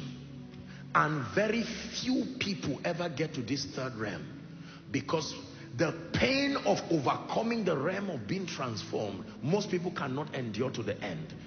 A few walk their way to the finish line. But sadly, they just stop at the level of transformation. And that's why possibilities don't manifest in their lives do exploits. James chapter 1. Doing is the last step as far as destiny actualization is concerned. Action is demanded. Until and unless at some point in your life action is taken you will never be able to see results. James 1 22 please give it to us. Let's hurry up so we can pray. It says, But be ye doers of the word, not hearers only, deceiving yourselves. Reading to 25. It says, For if any be a hearer of the word and not a doer, he is like unto a man beholding his natural face in a glass. For he beholdeth himself and goeth his way, and straightway forgetteth what manner of man he is. He was. He says, but whoso looketh into the perfect law of liberty, listen carefully, and continueth therein, he not being a forgetful hearer, but a doer of the word. Let's finish the remaining. What will happen to that man? He said, this man shall be blessed in his deeds. Action. Action. The word exploits. Now, I'm not talking about the verb. There is the verb exploit, right? Which means to selfishly take advantage of another for profit. That's not what I'm talking about. I'm talking about the noun, exploits. And that means I wrote here, notable, outstanding, or heroic accomplishments. Exploits. Notable, comma, outstanding, or heroic accomplishments. Do not forget what we are looking at. The roadmap to a triumphant destiny. That's the topic we're dealing with tonight. And well, considering for our text, Daniel 11 and 32, the B parts, the people that do know their God, they shall be strong and shall do exploits. We're bringing out the revelation from the statement, know, be, and do. We said these represent the three, the tripartite junctions as far as the roadmap to an excelling life is concerned. Knowledge. Number two, be, becoming, transformation. Now we're looking finally at doing. Write this down. Action requires courage. The first demand for doing is that you must be courageous. Action requires courage. Numbers chapter 13 and verse 30. Numbers 13, 30. Action requires courage. And Caleb still the people before Moses and said, let us go up at once.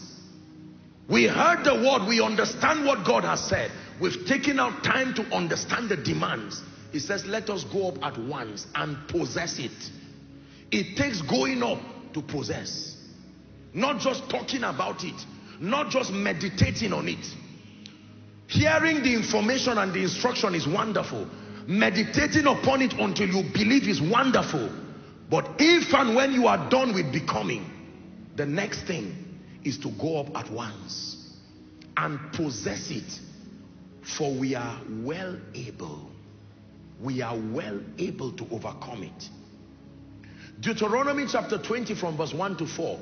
This scripture has blessed me for many, many years. Pay attention as I read. Deuteronomy 21 to 4. We're wrapping up. When thou goest out to battle against thy enemies and seeth horses, chariots, and a people more than thou, it says, Be not afraid of them. For the Lord thy God is with thee, which brought thee up from out of the land of Egypt. Reading to 4.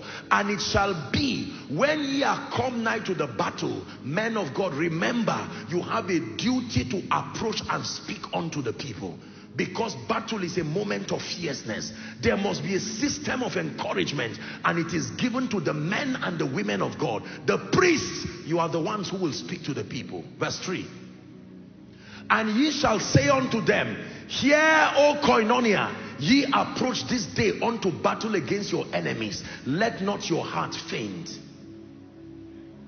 he will come and save you he will come and save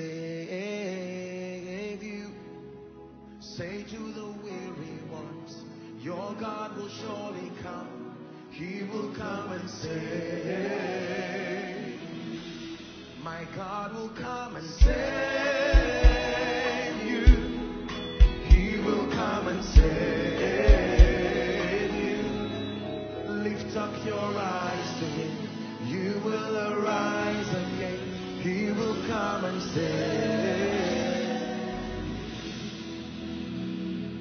Let not your hearts faint. Fear not and do not tremble. Neither be ye terrified because of them. For, for the Lord your God is he that goeth with you to fight for you against your enemies and save you. Please hear me. If anyone tells you action does not require courage, that person lied to you. Action requires courage. You are touring virgin dimensions that you may never have gone there. It takes courage. Number two, Action requires persistence and resilience. Do exploits.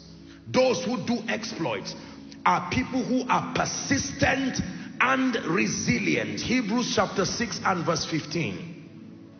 Hebrews 6, 15 please. And so, after he had patiently endured, the he being Abraham, he obtained the promise. Galatians chapter 6 and verse 9. Galatians 6 and verse 9. It says, And let us not be weary in well-doing, for in due season we will reap if we faint not. It takes persistence and it takes resilience. The first time we had our crusade, gauging by the standard today, you would not call it a very successful meeting. Because when debt, many things went, you know, with very few people. I'm not sure we were up to 50 that entire theater for the crusade. After weeks of praying and preparing, you would look and say, this person is a failure. These people are failures. And the very next, as we were returning, God gave an instruction again to do another one. God for you. He will act as if he didn't see what happened to you. Are we together? Hmm. You gave somebody a lift, he stole your phone. By the next day, God will say, make sure you carry two people and bless them. Action requires persistence and resilience. Number three, action requires conviction. Second Timothy 1.12 Action requires conviction. You will never be able to act until you are full of conviction. For the which cause I also suffered these things. Nevertheless, he said, I am not ashamed, for I know whom I have believed, and I am persuaded that he is able to keep that which is committed unto him against that day. Let me tell you the truth. The strength of your conviction determines the speed of your action. The strength of your conviction determines the speed of your action. You see why transformation is very important. Because as you begin to push against these walls by faith, it will take conviction. I submit to you by the God of heaven, even if I came to Abuja here and Koinonia started and I failed, I would not return back in shame. One thing for sure I would have done is I would have gone for a retreat to verify and re-verify again. God, is it my mind? Am I just acting in the flesh? Or is this true? Can I tell you, there are many things that are not working now in your life, but it does not mean that God is not there. All you need to do is to stay pushing with resilience. Resilience and persistence. Number four, action requires unbending focus. Action requires unbending focus. 3.13 Philippians. 3.13 Action requires unbending focus. Brethren, I count myself, not myself to have apprehended, but this one thing. Somebody say one thing. One more time, say one thing. When you are focusing on 10 things, you don't have focus. It is usually one thing at a time. There has to be something driving you. This one thing I do, forgetting the things that are behind and reaching forth to the things that are before me, I press. Proverbs 4.25. Unbending focus. Proverbs 4.25. Unbending focus. It says, let thy eyes look right on and let thy eyelids look straight before thee. That means you can't run. How many of you have seen people who are running the finals of a hundred meter dash and whether someone is insulting you or someone is clapping for you, you don't turn back. Your eyes is set on the finish line. Part of the training of a winner is that the moment you start looking, ah, you are clapping for me. When it has to do with the race of life, both commendation and criticism can distract. You need to remain focused. Unbending focus. Luke chapter 9 and verse 62. Action do exploits. Doing exploits requires unbending focus. Jesus said unto them, no man having put his hand on the or to the plow and looking back is fit for the kingdom. Focus. Remember Lot's wife. The Bible warns us about the wife of Lot. She was already on her way out of Sodom and Gomorrah with the warning not to turn back.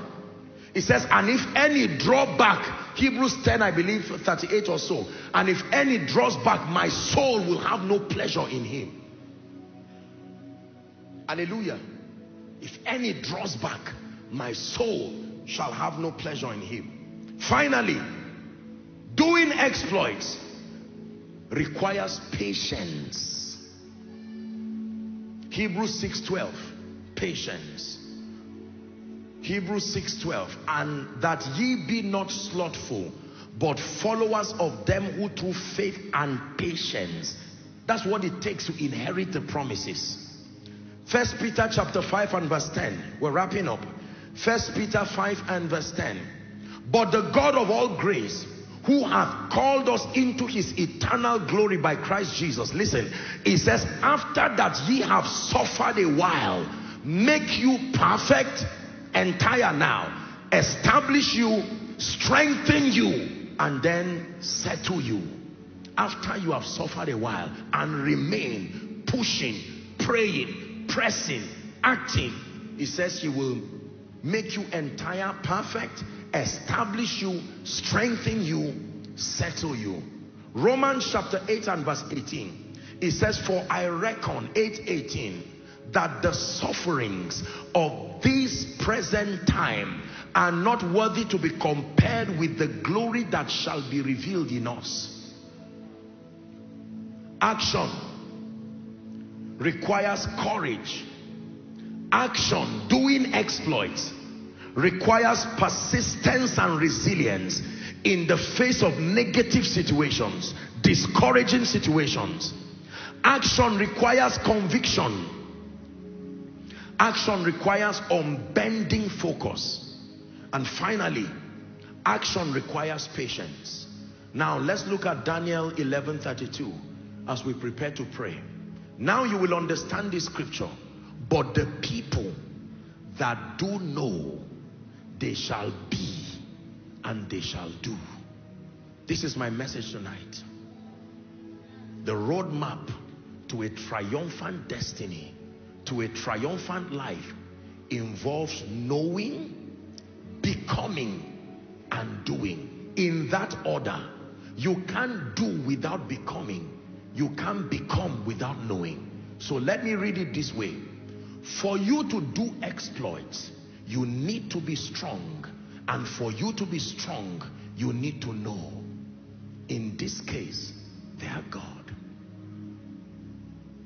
If you ever see anybody doing exploits, know that that person must have been strong. He became to do. And for that person to have become, are we together? That person must have submitted himself to knowledge. A naive medical student goes to the university as a school living certificate holder with the potential of becoming a doctor. What happens? Knowledge. Knowledge, they keep pumping knowledge for over six, seven years. And the medical doctor is evolving out of the ordinary person. There is a becoming happening. And do you know, within the limit of his practice, he will not be allowed to do certain things because he's still becoming. Sooner or later, he gets accustomed to the medical practice and then by the time he's done, he's now given liberty to start doing. And then the process reverses, uh, the process continues again. Even though he is a graduate, he's not called a consultant. Is that correct? Knowledge starts again. Another version of becoming happens and then he can do exploits. Greater knowledge, greater becoming, greater exploits. Small knowledge, small becoming, small exploits. High level knowledge, high level transformation, high level exploits. The choice is yours. I set before you life and death. I set before you a mediocre destiny and a life of kingdom exploits that brings great glory to God and dignity to you and posterity judging you faithful by reason of your finishing strong. I have fought a good fight. I have finished my course. I have kept the faith. I remind you again as I started that in destiny, you must know how to fight. You must know how to finish. You must know how to keep. Please rise up on your feet. I will hold on through the storm. I will hold on to your word. My story is about to change. You're the lifter of men.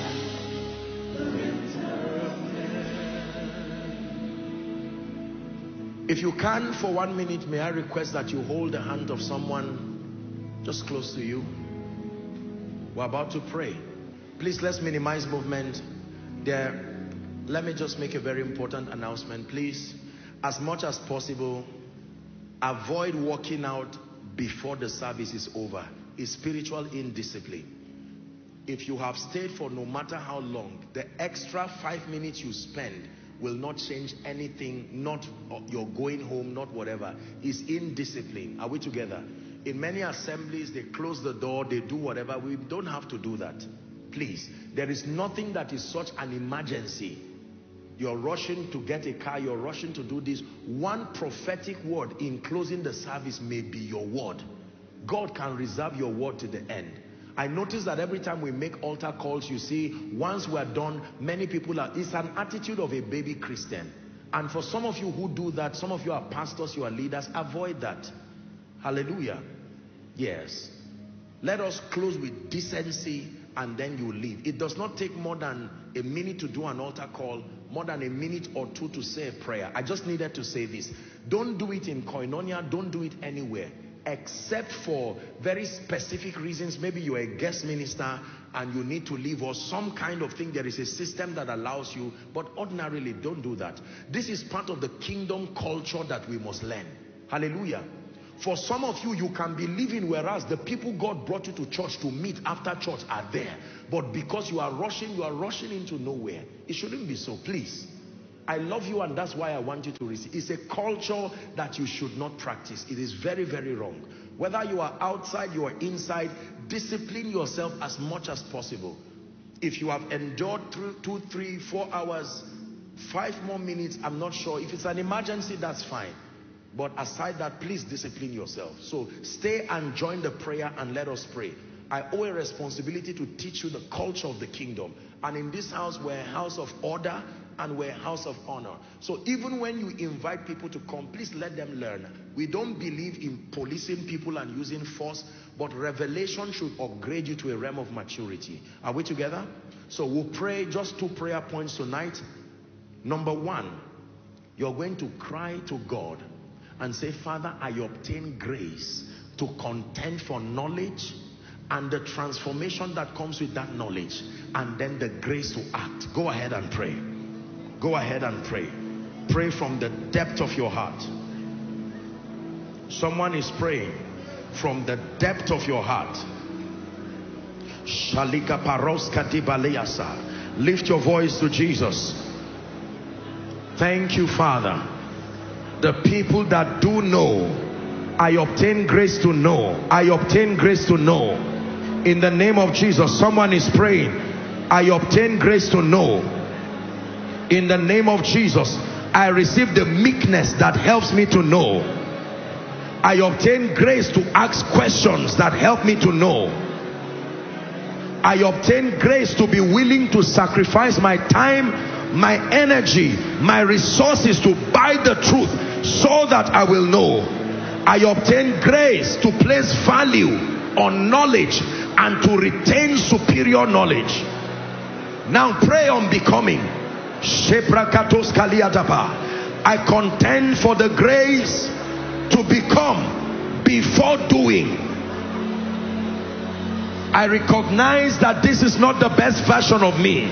I lay aside my current failures, my current successes, and I press in the name of Jesus, becoming a greater spiritual version, a greater financial version, a greater intellectual version. I upgrade my references, kingdom worthy models and references that guide and challenge my transformation. In the name of Jesus, I give up age-long limiting unscriptural anti-destiny beliefs and I embrace superior beliefs in the name of Jesus.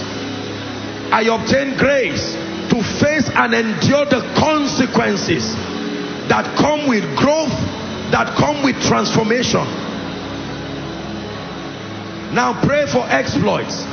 I receive grace to be courageous. Courageous. Even when it does not look like it. To hold on to the word of God and to believe.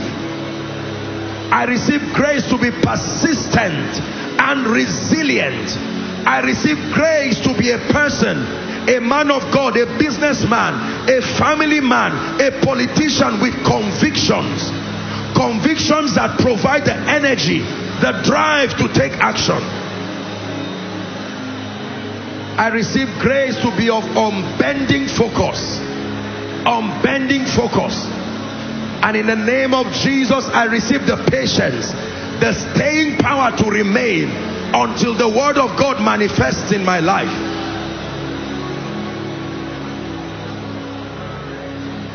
For in Jesus' name we pray. Last prayer point. I want you to declare that your prophetic destiny, the place that has been earmarked for your prophetic destiny, if it requires a fight, declare that you are a victor in Christ.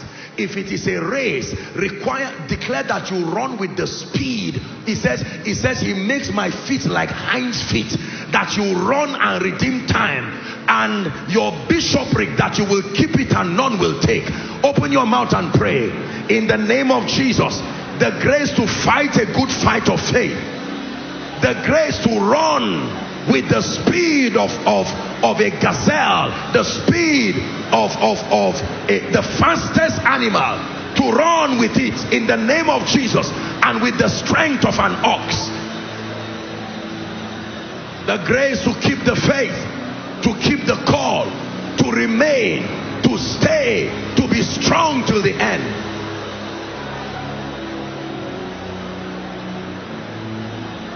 For in Jesus' name I pray. Now, very quickly, our time is up. There are people here who are yet to surrender their lives and their everything to Jesus. Once you heard the word coming, the Holy Spirit began to speak to you, telling you that you need to make your ways right. Or you are here and you are saying, Apostle, I remember giving my life to Christ, but right now I need a rededication any of those two categories, whether you are inside, remember, the first person to know is God, not just your destiny helpers, not just an information, the people that know their God. And you are saying, Apostle, I cannot really say I know my God. This is eternal life, John 17 and verse 3, that they may know you, the one true God, and Jesus whom thou hast sent. I want to make this altar call right now. Our time is up. As I count one to five, I want you to leave your seat, whether you are inside or outside. I want you to come and stand here very quickly. Jesus wants to give you a new beginning. And don't wait for someone to come before you follow them to come. Hallelujah. Wherever you are, I begin my counting now. Let's celebrate them as they come. One. God bless you. Come to Jesus. Come to Jesus. Come to Jesus.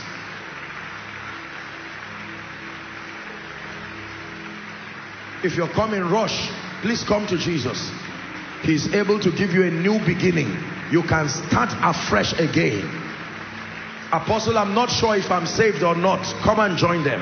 You can have the assurance of salvation this night. God bless you. God bless you. God bless you. I'm about to lead them to pray. So if you are coming, please run. You may need to double up. Thank you. Thank you. Thank you. Thank you.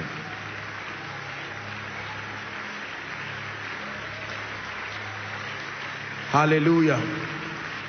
I want to salute you for making this courageous decision. We just thought that it takes courage to take action. And you have taken a very noble action.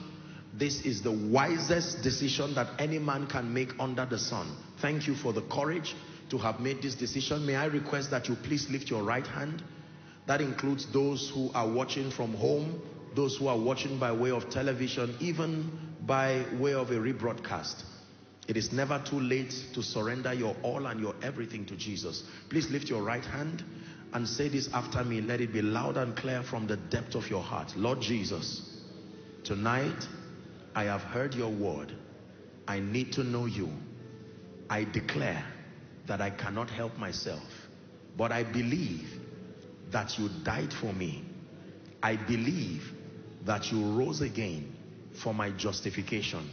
Right now, I receive Jesus into my heart as my Lord, my Savior, and my King. I declare that the power of sin, Satan, hell, and the grave is broken over my life. From tonight and forever, I go forward ever and backward never. In Jesus' name. The Lord bless and honor your prayer. And I declare by the authority of scripture that you are bona fide recipients of eternal life. You'll go from glory to glory and grace to grace in Jesus' name. May I please request that you follow the counselors. You're in front here. They are by my right. May God bless you. Let's appreciate them very quickly. Hallelujah.